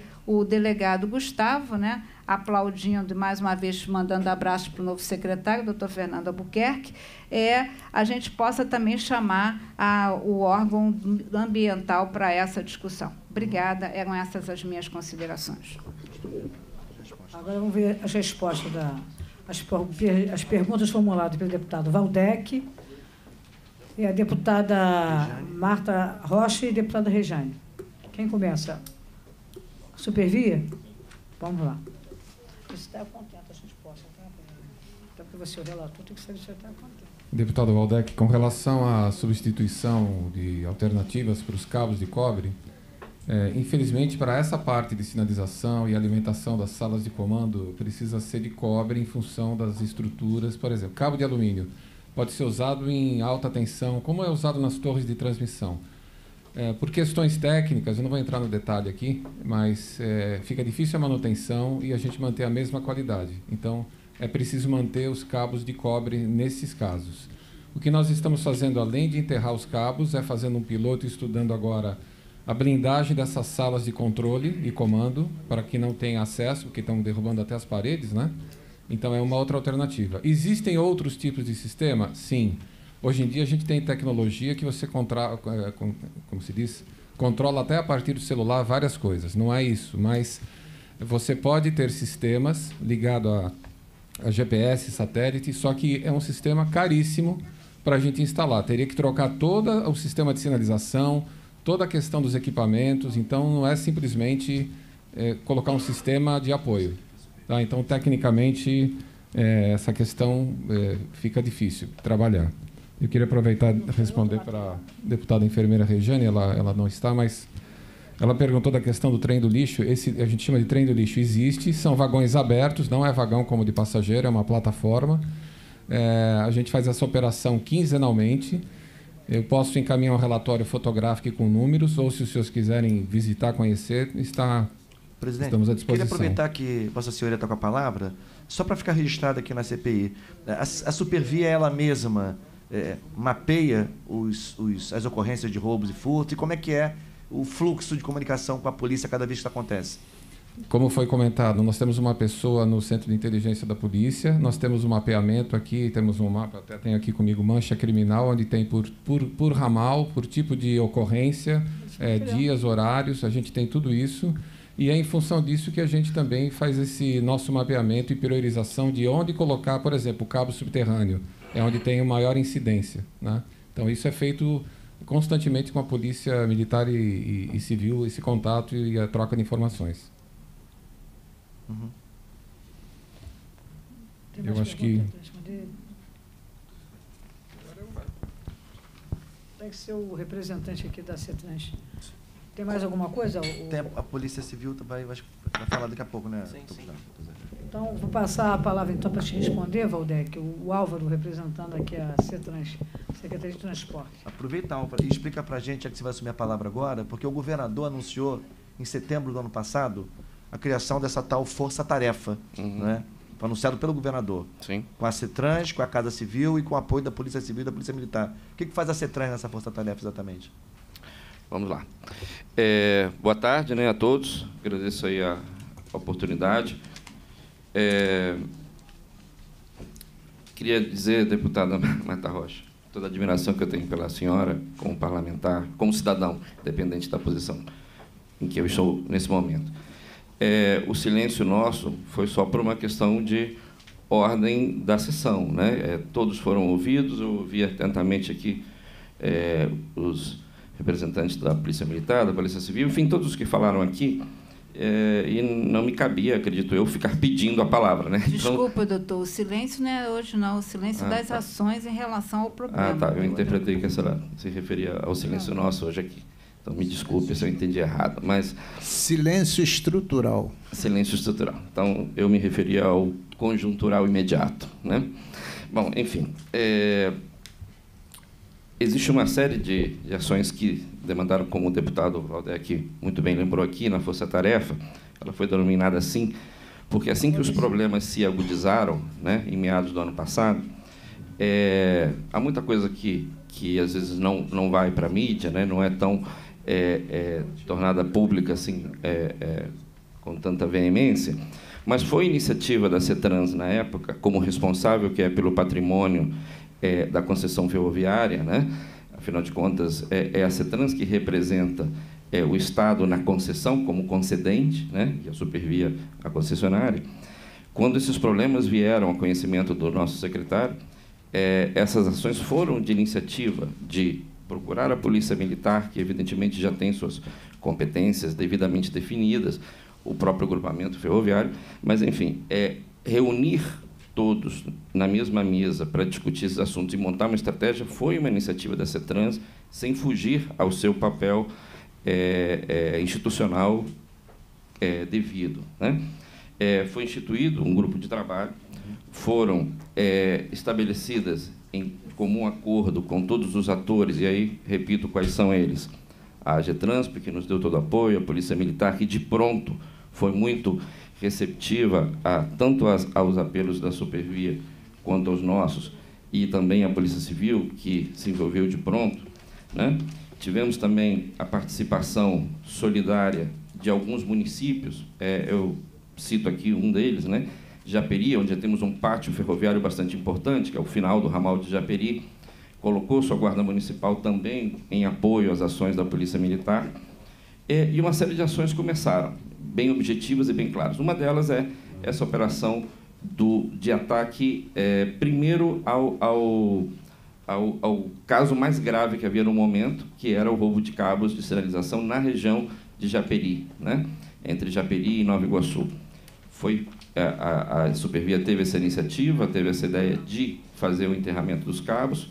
Muitas vezes esse enterramento não pôde, está aqui o presidente para me confirmar ou me desmentir, é, não era possível fazer essas operações porque os funcionários que estavam nessas obras eram ameaçados, eram coagidos. Foi solicitada a ajuda da Polícia Militar e a Polícia Militar prontamente atendeu.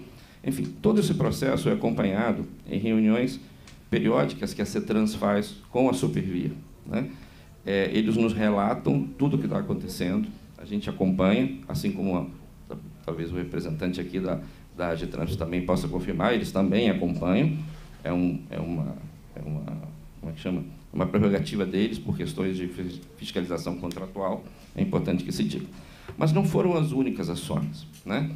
É, as outras ações que, que, que, houve foi dentro da estrutura da CETRANS, né? dentro do seu corpo jurídico, é, a formulação é, de é, iniciativas, inclusive para sugerir aos, aos, aos, legisladores, ao parlamento, né? cuja casa estamos agora, é, e também em nível federal. Existe aí uma, uma, já uma, uma, um projeto de lei para para modificar o Código Penal, para introduzir penas mais duras. Né? Existe uma iniciativa que nós temos conhecimento, que também faz parte de uma interlocução que o secretário fez com alguns parlamentares da bancada do Rio de Janeiro na Câmara Federal. Por favor. Né? Olha Não só. tenho o número aqui, eu acho que é o que o senhor vai É, me o perguntar. senhor disse que mandou medidas para o legislativo. Não, eu, eu não, não desconheço. disse isso. Disse que interna corpore, o nosso corpo jurídico, a nossa Então, assessoria, senhor, por favor, está trabalhando nessa, nessa, senhor, nessas senhor, propostas para O deputado está pedindo para esclarecer melhor, porque não chegou nada dessa casa. Não, e eu não disse que chegou também. Ok, por se favor. não, se não disse. Pode concluir, por gentileza, Conclua. seu Álvaro. Então, estamos trabalhando nessas frentes é, em resposta ao que nos foi questionado, né, objetivamente. É, o tempo todo acompanhando essas ações. No que diz respeito à pergunta que foi feita antes também pelo deputado, felizmente eu não tenho... Projeto de segregação de vias. Segregação de vias. Eu não tenho aqui exatamente o processo de ele está. Ele está sendo tocado pela nossa coligada, que é a Central, porque ela é responsável pelo patrimônio especificamente ferroviário, mas ele consiste no seguinte, né? com recursos do Banco Mundial, é a construção de muros em áreas em que ainda não há muros e a construção de passarelas eh, não operacionais, aquelas que não estão envolvidas com a estação, mas que servem apenas para travessia, e quando eu digo apenas, não é tirando o seu valor, são muito importantes, para que um dos motivos de, de se quebrar muro nem sempre é um ato, não é um delito eh, simplesmente, ou, ou para fugir, ou para vender drogas, ou para fazer uma evasão de, de tarifa, né? De pagamento de tarifa. Às vezes é porque uma comunidade que não existia passou a existir, por razões que fogem a todo o nosso controle aqui, é, e passa a ser necessária a travessia. Ou que tem uma comunidade desse lado da via e agora tem um posto de saúde do outro lado que não existia, as pessoas precisam atravessar. Então, nem sempre há um delito nisso, ah, perdão, as pessoas precisam atravessar, e nesses casos, esses, esses pontos foram mapeados, e esse programa, ao que o senhor se referiu, que realmente existe, é, irá, com recursos oriundos do Banco Mundial, construir passarelas e, evidentemente, fechar muros onde essas passarelas forem construídas para que esse problema seja. Mas as tratativas com o. Banco Mundial estão avançadas? O senhor sabe dizer alguma coisa? Existe um programa do Banco Mundial de financiamento de uma série de infraestruturas, né? Sei. E ele está dentro desse programa, é uma iniciativa específica dentro desse grande programa. Do tem alguma ideia de Mundial. cronograma? Nesse momento não não estou preparado para lhe, lhe responder isso, mas ele existe. Nós podemos lhe, lhe enviar Poderia essa encaminhar para a. CPI, por Claro, favor? Presidente, quando a senhora tratar da infraestrutura, a senhora, por favor, chama a Central Logística. Excelente. Sim. Acho que é uma iniciativa muito louvável. Não sei se de nossa parte faltou dizer alguma coisa. Não, não, tudo bem. Tá bom, muito obrigado. Agora é o Gustavo. Doutor Gustavo, antes do senhor falar, eu esqueci uma coisa. Assim, o senhor falou uma coisa muito importante, até comentei com a deputada Marta Rocha, que me orientou sobre alguns aspectos que ela conhece bem a matéria ou não, sobre essa tentativa de sensibilização do Poder Judiciário em relação né, à autuação no 155, no 260. É, isso prosperou? É, a gente pode ajudar? A gente poderia, por exemplo, a CPI pedir uma audiência com o presidente do Tribunal de Justiça para conversar com o presidente sobre isso? Em que pé estão as coisas? Bem, a gente, em relação a esse tema, a gente encaminhou uma apresentação ao, ao Tribunal de Justiça, eh, ao doutor desembargador, agora eu não vou me, me recordar, porque eu, né, eu não fui a pessoa que, que, né, que foi diretamente. Mas pode nos informar a posteriori, por favor, o nome do É, desembargador, porque a gente pode procurá-lo. É, doutor Dilson Araújo, se eu não me engano. Sim. É, Ah. E aí a gente fez a apresentação para ele para que os juízes da, da audiência de custódia pudessem né, é, é, ter maior clareza do que estava acontecendo, quais são os riscos é, que essas subtrações geram para todo o sistema ferroviário e, né, e, e- e- e- as outras, os outros transtornos, outros tipos de transtorno. É, que a gente teve como resposta né, que cada juiz tem o seu entendimento, tem a sua, a sua livre convicção e que, caso a caso, né, iria ser avaliado. É, eu tenho né, uma, um caso concreto em que, numa dessas ações noturnas, a gente pegou um comerciante que já havia sido preso anteriormente pela receptação qualificada. nesse caso concreto, ele acabou ficando preso na audiência de custódia e, e, né, e permaneceu preso até. ficou uns dois, três meses preso. Então, acredito que. Né, que cada juiz tem o seu entendimento e acredito que, é, que, que essa apresentação serviu para que eles entendessem melhor é, essa questão da, da, da, da subtração de, de cabos e, e, materiais da, da linha férrea.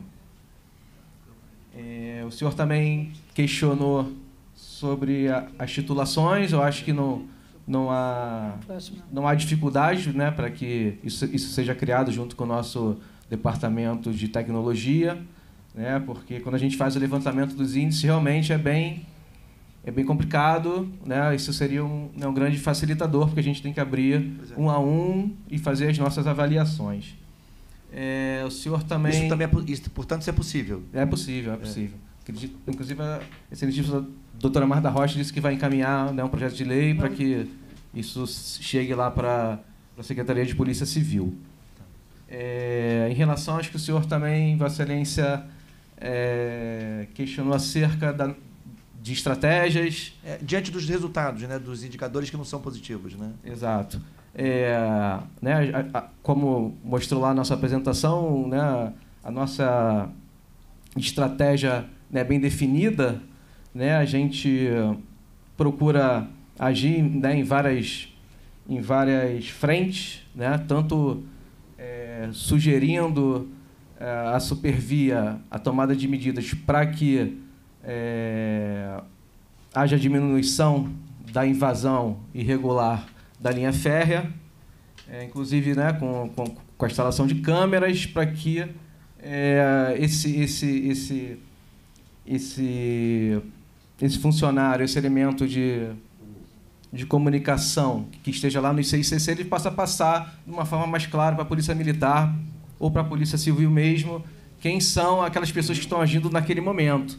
Né? Que não adianta dizer que ah, acabou de acontecer um furto entre o, o, a estação tal e tal, que é um, que é um raio de dois quilômetros, e a Polícia Militar, a Força de Segurança, fica cega naquela ocorrência.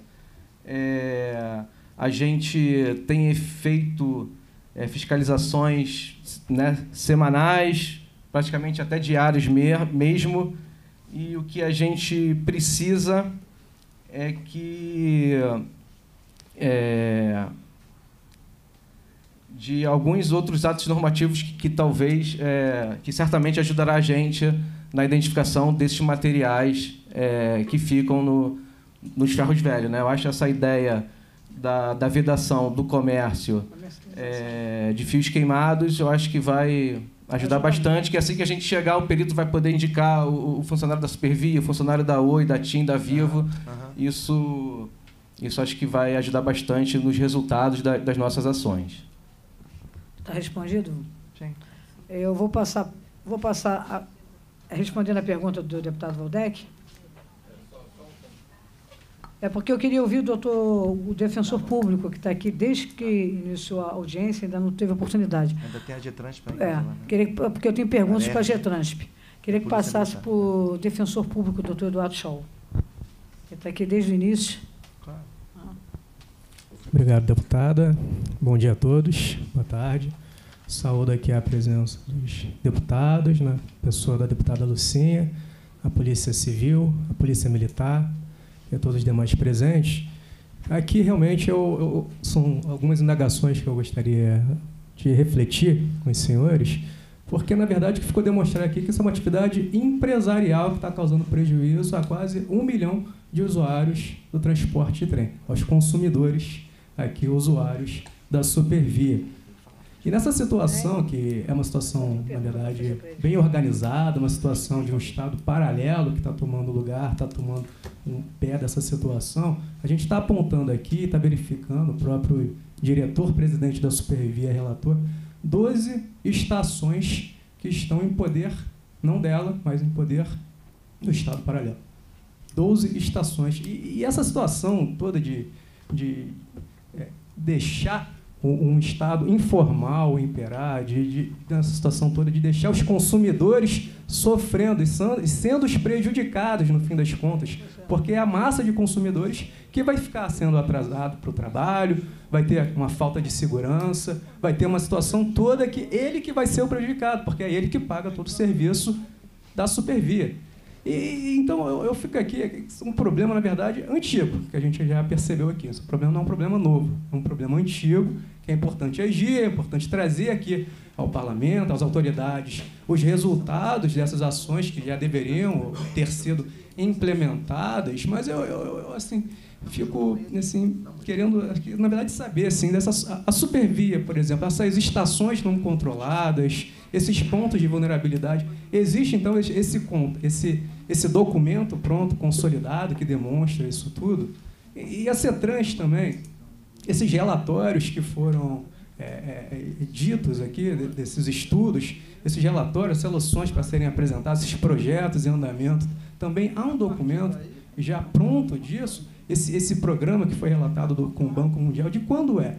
é esse problema é antigo. Então, gostaria assim, é, essas indagações assim, de quando são, são essas soluções aqui, para a gente poder ter isso aqui é, documentado, ter isso analisado. Porque, como eu falei, esse é um problema de muitos consumidores, todos os dias sofrendo. Hoje foi mais um dia que a gente vislumbrou aqui na mídia, está sendo apresentado. Então, esse trabalho de inteligência, essa documentação toda, fico aqui é, é, indagando aqui para vislumbrar soluções. Soluções aqui que todos estão buscando.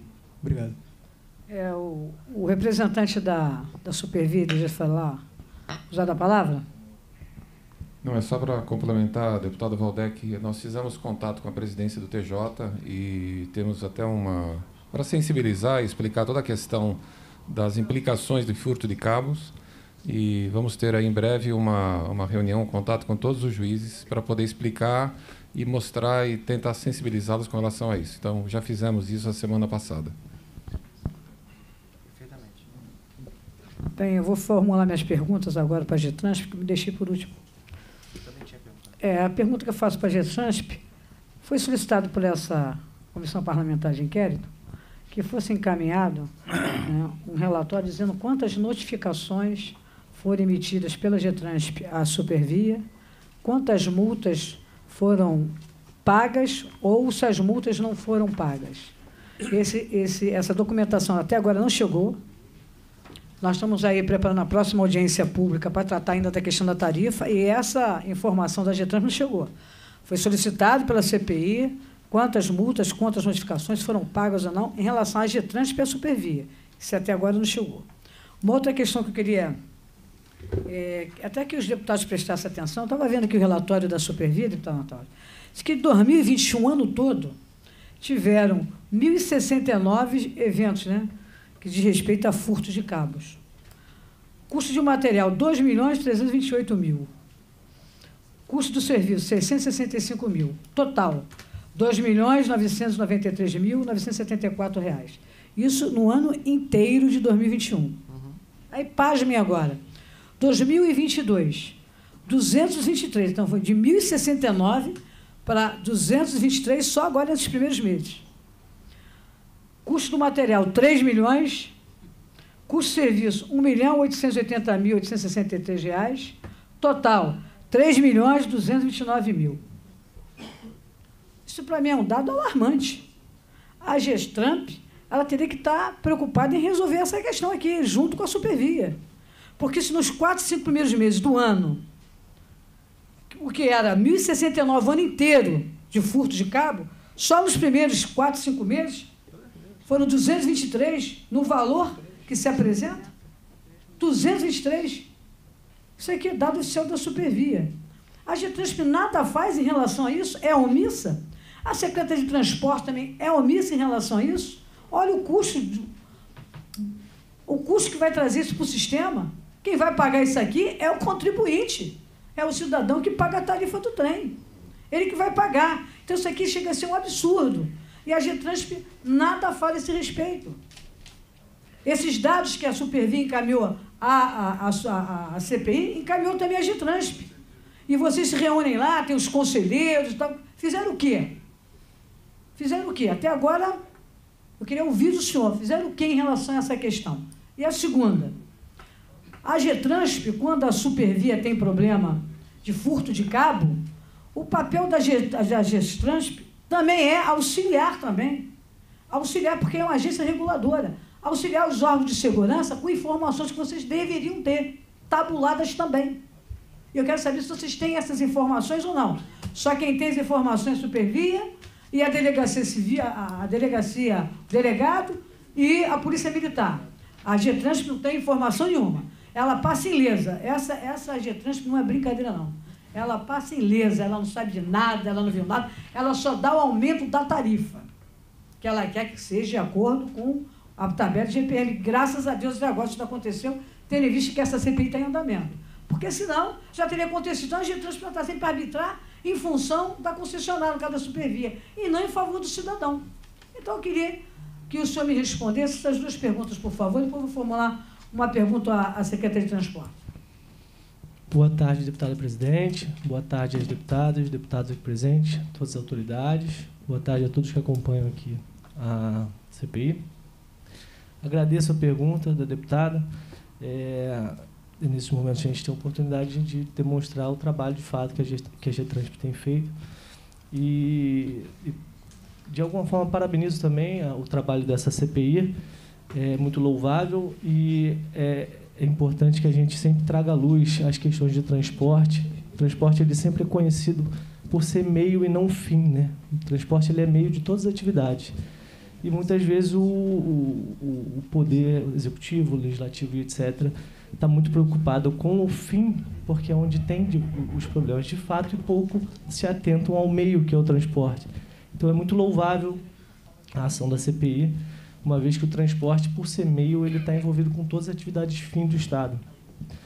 É, inicialmente, é, presidente, é, eu tenho informação que, as, que a, os dados solicitados pela CPI eles foram encaminhados através do ofício 51, ofício AGETRANS Presi, é, número 51, no dia 29 de março, com a confirmação de recebimento no dia 30 de março.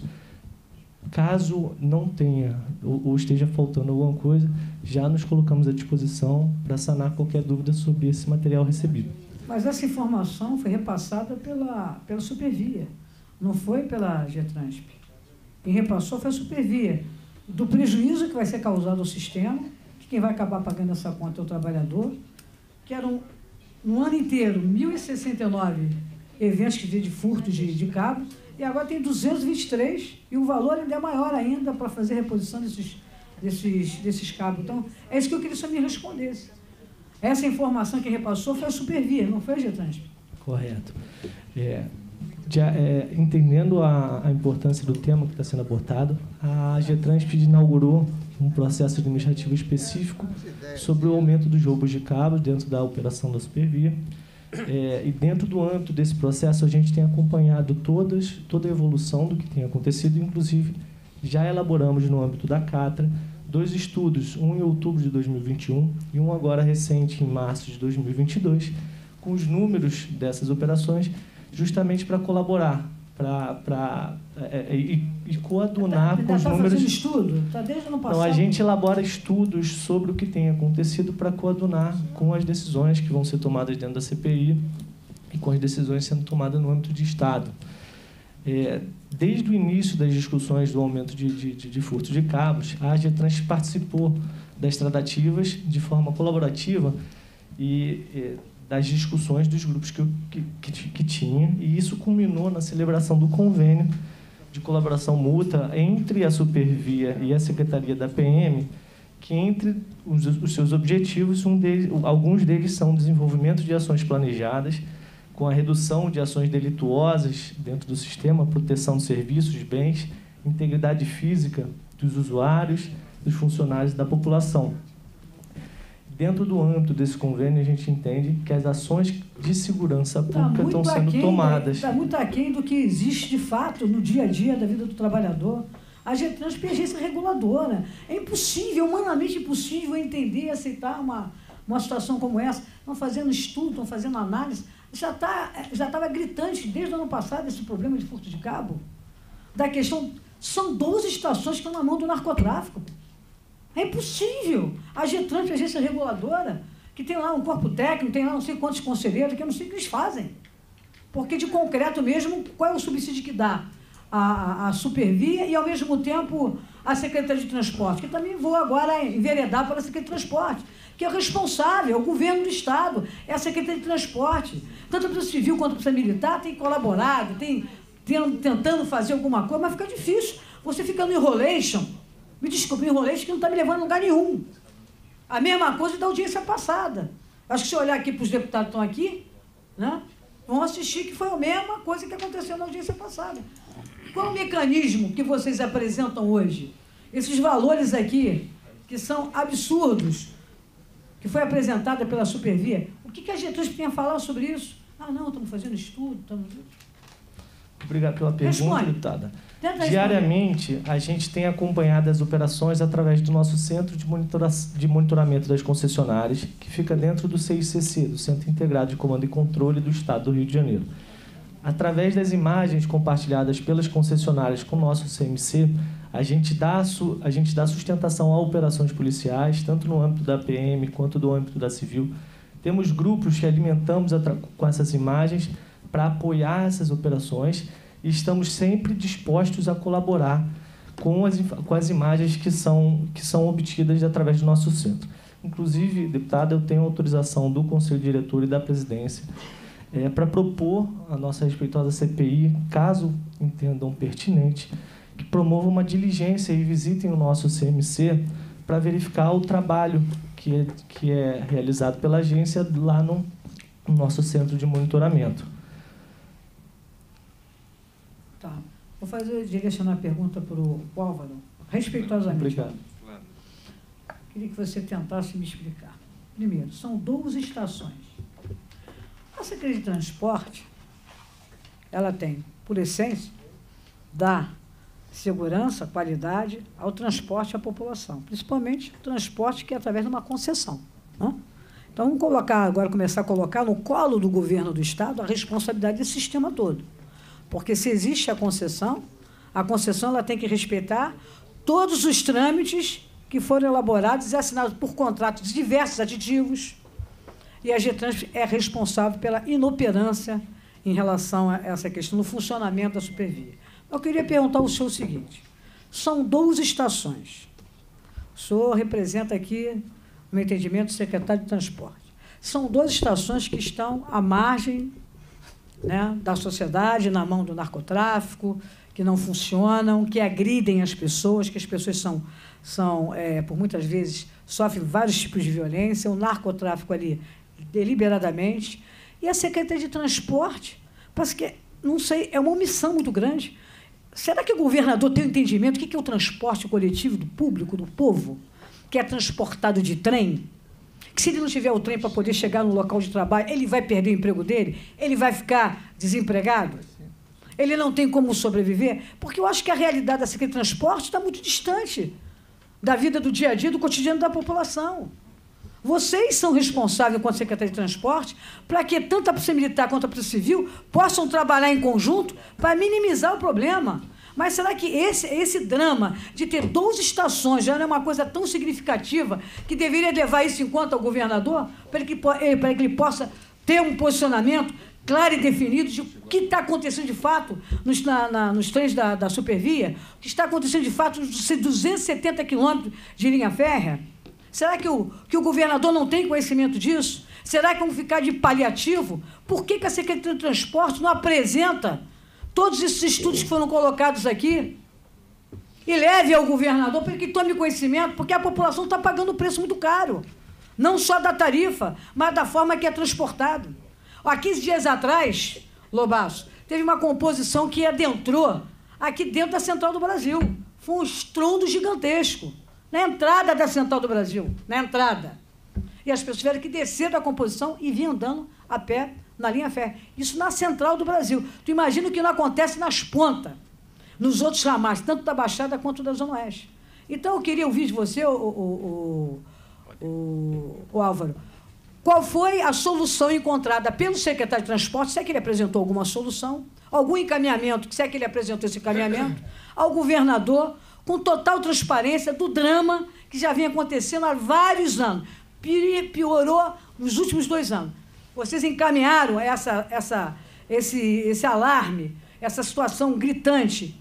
O governador tem conhecimento? Porque daqui a pouquinho o governador vai dar entrevista, não estou sabendo de nada. Ah, eu não sei de nada, não sei nem quem tomou uísque, quem tomou vodka. Eu quero saber da vida particular dele, não quero saber da vida do trabalhador. Eu estou aqui para defender o usuário, porque eu também sou usuário desse sistema. E tenho muito carinho pelo sistema. Porque a vida toda foi transportada por trem. Trem e metrô. Agora, é inadmissível. O senhor, como secretário de transporte, será que o governador não tem conhecimento do que está acontecendo? Ou só tem só dois assessores para discutir o problema da tarifa, né? Que na audiência passada tivemos dois representantes fora quadro, né? extra quadro, que não são funcionários, que são aqueles que auxiliam né? na discussão. Se vai ter um aumento da tarifa ou se não vai ter. O senhor aqui está representando a Secretaria de Transporte. O senhor é funcionário público? É, deputado, como eu tinha respondido já o deputado Luiz Paulo entre a sessão, não, eu sou carro comissionado. Sou. Carro comissionado. É, é, o, é o grande problema que nós encontramos em diversos setores do Estado, que são pessoas que são de cargos comissionados. Elas não têm a, a vivência da, do dia a dia da secretaria, do que acontece, do que, que a população necessita, do que, que o sistema tem que, tem que realmente existir para atender a demanda da população. Então, o senhor, como carro comissionado, não chegou a encaminhar nem o ofício, nem o seu secretário, ao governador para tomar conhecimento do que está acontecendo? Porque por mais que se enxugue gelo, tanto a Polícia Civil quanto a Polícia Militar não está conseguindo encontrar êxito. Tem que ter uma atitude do governador em função dessa questão. É o trabalhador que está deixando de ser transportado. Então eu queria ouvir do senhor, que o senhor, como secretário, essa demanda chegou ao governo do Estado para que ele possa botar a mão em cima desse problema para resolver? Porque senão daqui a pouquinho vai estar construindo pracinha, vai estar construindo não sei o que lá, uma pontezinha, e poderia estar investindo num sistema que é ferroviário para atender o trabalhador. Então, por isso que eu faço essa indagação. Queria ouvir o senhor. Presidenta, depois da CETRANS, eu queria ouvir também a resposta da, da ARERJ, dos recicladores. Ah, tá. É, tá, por favor. Desculpa. Não, não, imagina. É, deputada, é, bom, é, a secretaria, né, é, não vamos entrar aqui, não me cabe também entrar no mérito dessa questão da, de, de, os cargos são comissionados, tem, são, só, são servidores de carreira e tal. É, eu posso lhe falar por mim, eu, eu gostaria de ser servidor de carreira, sou um profissional com alguns anos de, de experiência nessa área, acredito que dou minha contribuição, assim como os meus colegas da assessoria técnica, que é o que nos cabe. Né? Com relação a, a, a, a comunicar ao governador né, a gravidade desse fato, realmente é gravíssimo. Né? Gravíssimo. É, temos estações que não estão sob controle do Estado, é, e aí nas suas mais é, diversas é, é, instituições, né? É, é, muito grave, sem dúvida é muito grave.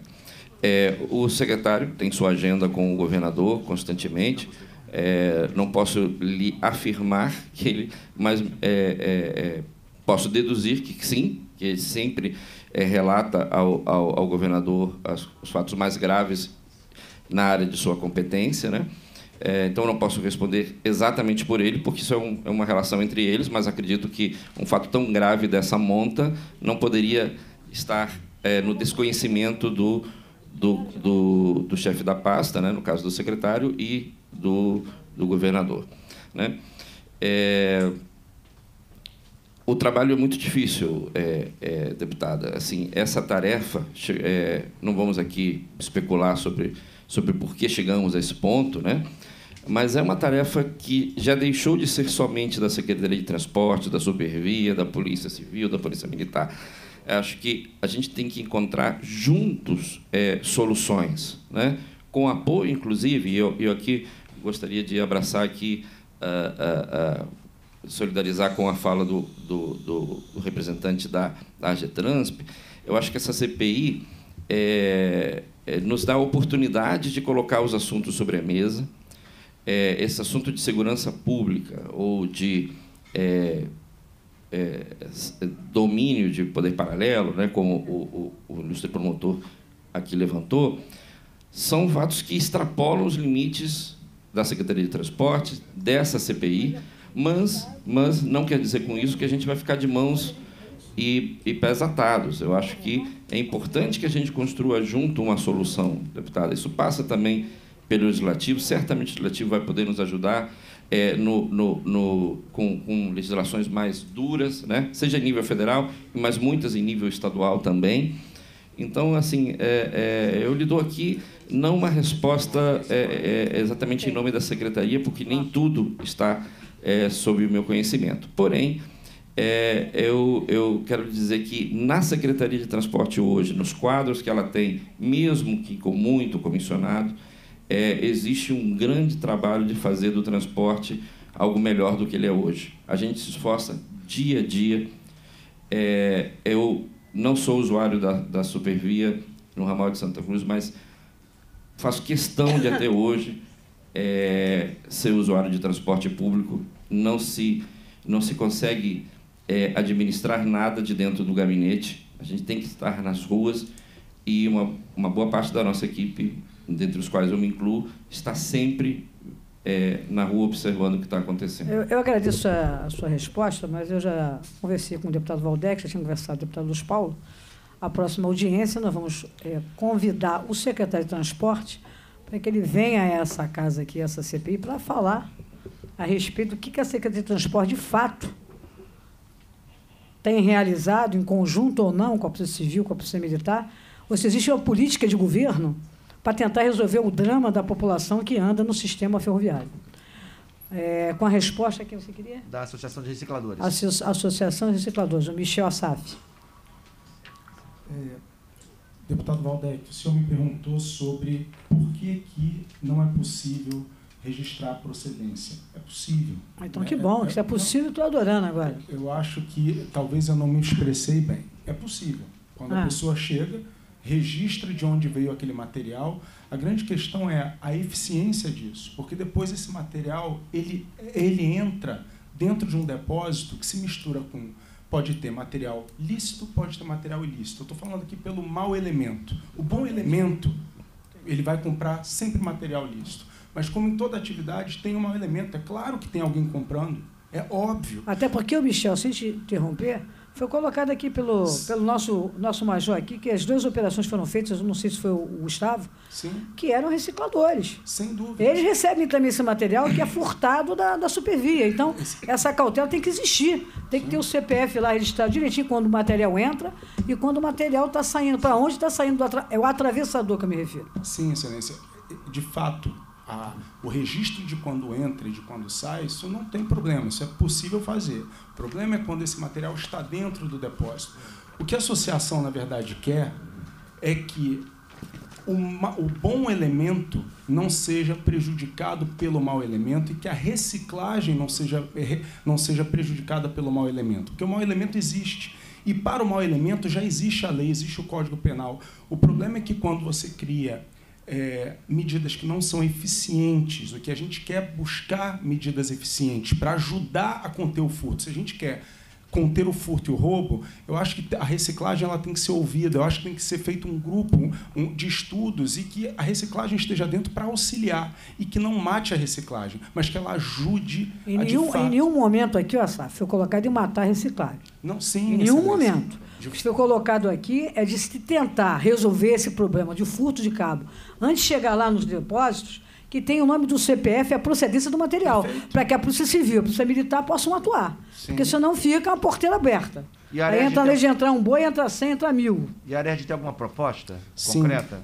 Deputado, a, gente, a ARERD já apresentou isso ao governo do Estado, que é um dispositivo eletrônico a custo da própria associação para que as concessionárias, não só a Supervia, mas qual, qualquer concessionária, registre esse furto e esse roubo em momento imediato quando ele acontece. Porque a reciclagem, eu tenho certeza que o bom reciclador, quando ele souber que naquela região tem algum elemento tentando vender algo que venha fruto de furto e roubo, esse cara não vai longe, onde ele furta, ele tenta vender é, no lugar mais próximo, mas ele vende para o mau elemento. Então, a associação com esse dispositivo pode ajudar a capturar esse mau elemento e ajudar a polícia. Tem que ter uma, uma sinergia entre reciclador, polícia e concessionária. O reciclador, o bom reciclador, ele não pode ser prejudicado pelo mau reciclador. A polícia já tomou conhecimento dessa proposta? Já, já foi enviada é, formalmente para a polícia e para o governador. Mas, mas foi para o delegado? Sim, sim. Sim, Foi eu já você, tive Gustavo? conversa com o doutor Gustavo. Foi você, e a gente já Gustavo? tem, a gente mantém conversas sempre que possível. O doutor Gustavo tem sido super atencioso no que for, na- na- nas necessidades do reciclador. É, agora, o que precisa é de fato ter essa confiança maior no reciclador. Mas a a, dele- a confiança de que- delegacia de roubos e furtos tem alguma opinião já sobre essa proposta? Ainda não tem? Não, eu acho que é, esse aplicativo que eles dizem, né, que seria inserir Sim. Todos os associados da ARERJ, que são, se eu não me engano, 6.400 estabelecimentos, é, seria uma forma de ajudar, mas as outras né, normativas também são importantes, né? O, o, o, o comerciante, quando comprar, saber a procedência. Sim. E aquilo ele, ele fazer a venda e ter a nota e ter a escrituração. Mas e, nós podemos fazer por projeto de lei, com a sua colaboração, Gustavo. e toda a cadeia é, é- é- é ter essa, essa escrituração né, de toda a procedência, Sim. porque. Senão fica. É, porque é, uma das, das justificativas do, do grande reciclador é que quando cai lá a caçamba com não sei quantas toneladas, cai um ou outro material e ele não tem como ter o controle. Mas aí é o risco da atividade dele, ele não pode fazer. O risco da atividade é deles, não é da- do cidadão. Exato, ele não pode fechar os olhos a isso, porque ele está fomentando todo esse comércio, né? Correto. É, eu pedi, vou dar dois minutos aqui para a representante aqui, que vai falar durante dois minutos, tá, querido? Observatório dos Trens. é. que o Observatório de Trem vai falar, e nós temos que encerrar a nossa audiência de hoje. Antes de, de usar a palavra, eu queria agradecer a todos os presentes. Sei que na próxima audiência nós vamos continuar tratando desse, desse assunto específico. E só vou solicitar a presença do, do secretário de Transporte. E, ao mesmo tempo, gostaria de pedir ao Lobato, Já o conheço, que envie as informações em tempo real, se possível, para essa casa, para que essa casa possa apresentar isso ao governador através da CPI. Não dá mais para ficar guardando. Nós temos 120 dias da CPI prorrogáveis por mais 60.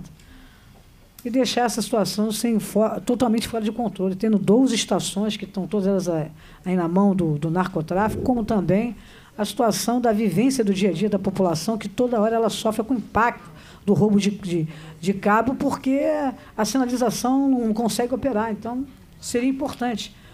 Para alertar o governador, que eu não fui alertado sobre o assunto. Está sendo através da CPI, vai ser novamente alertado com essas informações, viu, doutor Gustavo? Precisamos unir força nesse sentido. Porque senão o trabalhador fica pagando o pato o tempo todo. Porque todo mundo aqui reconhece que o maior prejudicado, doutor Eduardo, é quem está onde? Na ponta. Usuário. É o usuário. Deputado Lucinho, eu tenho que presidir uma reunião agora às duas horas. E o Fórum de Mobilidade quer usar por dois minutos também. Tá. É, boa tarde a todos, eu sou Rafaela Albergaria, sou coordenadora do Observatório dos Trens. É, saudar a primeira mesa, o trabalho super importante que essa CPI, que a presidente, né, a deputada Lucinha, tem feito de fazer esse diálogo né, e esse debate sobre o sistema ferroviário. A gente, o Observatório dos Trens, tem produzido uma série de dados sobre é, as ocorrências violentas que atravessam o sistema ferroviário. E eu acho que o que foi colocado aqui, né, o que tem, na verdade, o que tem ficado e que precisa ser colocado, a gente produziu um documento de recomendações junto com a Casa Fluminense em setembro do ano passado, né, que eu distribuí aí para os senhores, onde o ponto 2 fala sobre como estabelecer estratégias né, eficientes para lidar com a questão do furto de cabo. Né, a gente pegou, e acho que falar sobre boas práticas dentro desse contexto é fundamental. A gente pegou um exemplo da, da, da CPTM, que é a empresa concessionária pública que executa e opera- operacionaliza os trens eh, metropolitanos de São Paulo e que adotaram medidas que são medidas que precisam ser consideradas pensando na resolutividade dessa situação. Então, consta aqui né, das, das atuações da empresa da CPTM que se possui uma série de estratégias, desde a re- da mudança da fiação é, do sistema ferroviário de São Paulo para uma fiação sem custo de mercado, com eficiência equivalente à fiação utilizada aqui, no, aqui. Se estabeleceu dentro da empresa concessionária um setor de inteligência é, para conseguir mitigar, local, alocar os maquinários constantes é, em, em pontos estratégicos que ficam mais difíceis a subtração desses, é, desses, desses maquinários e dessa fiação, localizar é, câmeras dentro é, da, do, do, das esta, da, do, da ferrovia e das estações ferroviárias. Aqui o senhor Carlos Sanches falou sobre a, a, a alocação de câmeras, mas na verdade a gente, né? É, eu comecei a fazer esse, o levantamento de dados sobre o sistema ferroviário a partir dos dados do ISP em 2017, depois que a Joana, minha prima, foi morta na estação de Coelho da Rocha e culpabilizado pela morte. Nesse contexto, que é muito emblemático, depois eu posso distribuir esse, esse livro que sistematiza esses dados né, a partir dos dados da Polícia Civil. A GETRANSP ela fez o papel que tem feito, que tem cumprido, inclusive, nas audiências que têm acontecido dessa CPI, de ser de funcionar como uma patronal da Supervia, de só é, justificar o que a Supervia diz. E o que a gente tem visto, inclusive, né, a falta de dados que são de, apresentados aqui desse cenário sobre furto de, de cabo, é, a falta de dados sobre o qual que é o custo da operação, que está muito ligado, inclusive, a essa justificativa né, de, de, de descontinuidade de uma série de de composições. Vou pedir para você concluir, porque concluir. São Ela não horas. pode ser julgada para cima da Polícia Civil, porque, na verdade, isso explicita uma incapacidade da empresa concessionária de cumprir com a sua função. Alguém já viu uma escola que é assaltada todo dia? Alguém já viu é, um, ônibus que todo dia tem assalto, todo dia tem assalto? E onde estão esses dados para dizer de fato que todo dia tem assalto? Então, Lucinha, tipo, é, é, me permita dar uma sugestão da importância do Observatório dos Trens, do Fórum de Mobilidade Sim, isso aí, isso aí e vai, da Casa Fluminense vai ter, olha só, vai ter um momento certo para isso. Nós até... estamos ainda numa parte mais crítica, claro. que é de aprofundar a crise que se encontra Sim. o sistema de transporte ferroviário. Claro. Depois, a participação popular é Sim. fundamental, mas vai se dar no, no momento certo. A gente encaminhou também um documento fazendo essa solicitação. É, orientar, né, pedir que propor que a gente pudesse também tirar daqui um grupo técnico para poder olhar para essas boas práticas e poder trazer soluções em relação a isso. Eu acho que na verdade a população ela é a mais impactada, mas ela não está sendo, ela nunca é vista dentro dos debates que estão colocados. Então a gente fala o que a gente, o que tem para a sociedade civil ficado de forma muito concreta na CPI é a incapacidade da, da, da concessão da conta do serviço e transferir isso mais uma vez para o Estado. Tá então acho que isso é muito importante pensar eu e pautar a restatização. Eu só queria dizer a vocês que vocês vão ter o um momento de vocês vocês sentarem para poder serem ouvidos Parabéns. na CPI, convidados para poder participar e serem ouvidos. É, é? Dois minutos. Porque a, a discussão de, dos acidentes que tiveram ao longo dos anos em relação à questão do, do sistema de transporte vai ser feito no momento adequado. Vai. Vai ser feito uma, dois minutos. Zerou. Bem, Boa tarde a todos. Eu renovo o pedido que a Rafaela colocou. Nós temos o ofício do Fórum da Casa Fluminense e do Observatório de Transporte é, dos Trens para que a gente tivesse uma participação mais efetiva aqui, sempre podendo colocar nossas opiniões. Esse ofício, eu não tinha seu contato, eu entreguei para o deputado Valdec e para o deputado Eliomar. Então, gostaria que depois, internamente, vocês pudessem responder. Eu tinha é, basicamente perguntas para a Supervia e não há necessidade... deixa, você deixa por escrito as perguntas. Eu vou encaminhar tá. para o representante da Supervia. Eu só vou ler as Na perguntas. próxima audiência, ele dois, vai responder, são apenas vai ser entregue ao senhor. Falar. Dois minutos que eu vou falar, já está aqui por escrito. Em primeiro lugar, o Fórum de Mobilidade Urbana não está aqui para tentar derrubar a Supervia, e sim para tentar colaborar ao máximo com o nosso sistema de, é, fique melhor para poder os usuários serem mais atendidos. Por isso, eu faço as seguintes perguntas. Quantos TUEs a Supervia tem atualmente? Quantos estão, é, estão operando e quantos não estão? Para quem não sabe o que é TUE, é, é o termo que se usa para trem. TUE, trem urbano elétrico, é, trem de unidade elétrica, perdão. É, quantos furtos de cabo foram é, contabilizados esse ano? Separados por período? Nos- não, esse ano não, nos últimos cinco anos, eu acho que ele já até respondeu isso, eu trouxe. Quantos foram de cobre e quantos foram de fibra ótica? Os cortes, os cortes de cabo fibra ótica, sem que eles sejam eh, levados, são contabilizados como furto ou como vandalismo. Existe algum levantamento médio do custo dessas ocorrências, separado por prejuízo direto e por demora na operação no trem em que houve o furto ou o vandalismo? Considerando que a Supervia é fiel depositária do patrimônio dos trens, das vias, dos demais prédios e equipamentos do sistema, pergunto: vocês fazem uma investigação sobre esses furtos sozinhos, inclusive, ou em conjunto com a polícia? Eu trouxe escrito, já vi que já foi respondido. Tem algum lugar que esses esses furtos são mais frequentes? Existe algum lugar mais frequente as providências que são tomadas nesse local? E detalhar, por favor, como está sendo esse, pro- esse programa de enterrar os cabos em local mais profundo. Muito obrigado. Bem, é, ele fez, fez as perguntas, muitas das perguntas foram respondidas já. Até porque o, o próprio representante da Supervia, ele apresentou que estão fazendo aterramento no ramal final de Japeri. Foi apresentado também algumas perguntas pelo senhor que também já foram respondidas, mas, de qualquer forma, eu vou encaminhar a solicitação para o representante aqui da Supervia, o diretor-presidente. Muitas vezes já respondeu, mas, por gentileza responder, eu encaminhar esse senhor, porque a- o fórum da discussão hoje ainda é técnico. É de averiguar, de aprofundar, discutir com os órgãos técnicos. No momento que a sociedade civil for falar, vão falar todos. Os usuários, as ONGs, as associações, sem problema nenhum. Só que eu me atendo sempre à questão principal, o que norteia essa CPI. Que norteia a CPI? É o direito do consumidor ter um transporte de qualidade.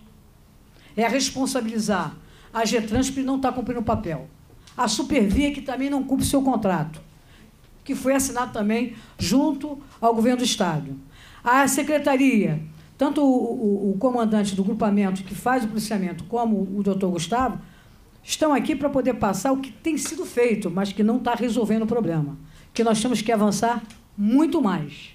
Se essa CPI tivesse acontecido há um ano e meio atrás, nós não estaríamos na situação que estaríamos hoje. É que ela demorou um ano e meio para ser instalada. Por isso que o caos aumentou consideravelmente. O defensor público está aqui, participou de várias comissões, aqui na casa, comissões especiais, e via a todo momento que a, tendência era a situação piorar. Então, eu deixo aqui é, para o representante da, da Supervia, como também para o, o- o Gustavo, a próxima reunião, eu faço questão que você participe, Gustavo, porque nós vamos estar apresentando o PL, os dois projetos de lei. Um que vai falar sobre a questão da reciclagem e a outra que vai responsabilizar de que forma a Secretaria de, de, de Transporte vai ter que atuar junto à GETRANSP no sentido de dar a possibilidade do melhor atendimento à população. Basicamente, a Marta vai redigir a parte que é da, da área penal e o, o representante que já foi embora, que é o Lessa, né? Qual- qual A? CEF. A CEF, que apresentou sugestões, mas eu quero que ele mande por escrito, porque essas informações vou passar para os agentes de segurança para que vocês analisem a proposta que ele vai apresentar para ver se realmente é válida ou não. Vai ser um trabalho que desnecessário. Então, eu queria agradecer a presença de todos, entendeu? E estamos aí abertos na próxima segunda-feira, todos novamente aqui, Tribunal de Contas, Defensoria, é, a Supervia vai estar sempre presente, que é parte integrante, Secretaria de Transporte, convidar o secretário de Transporte para poder também se posicionar em relação a esse grave problema que hoje nós tivemos a dimensão, né? Que não é uma estação, são 12 estações. Está encerrada a audiência do dia de hoje. Obrigada a todos.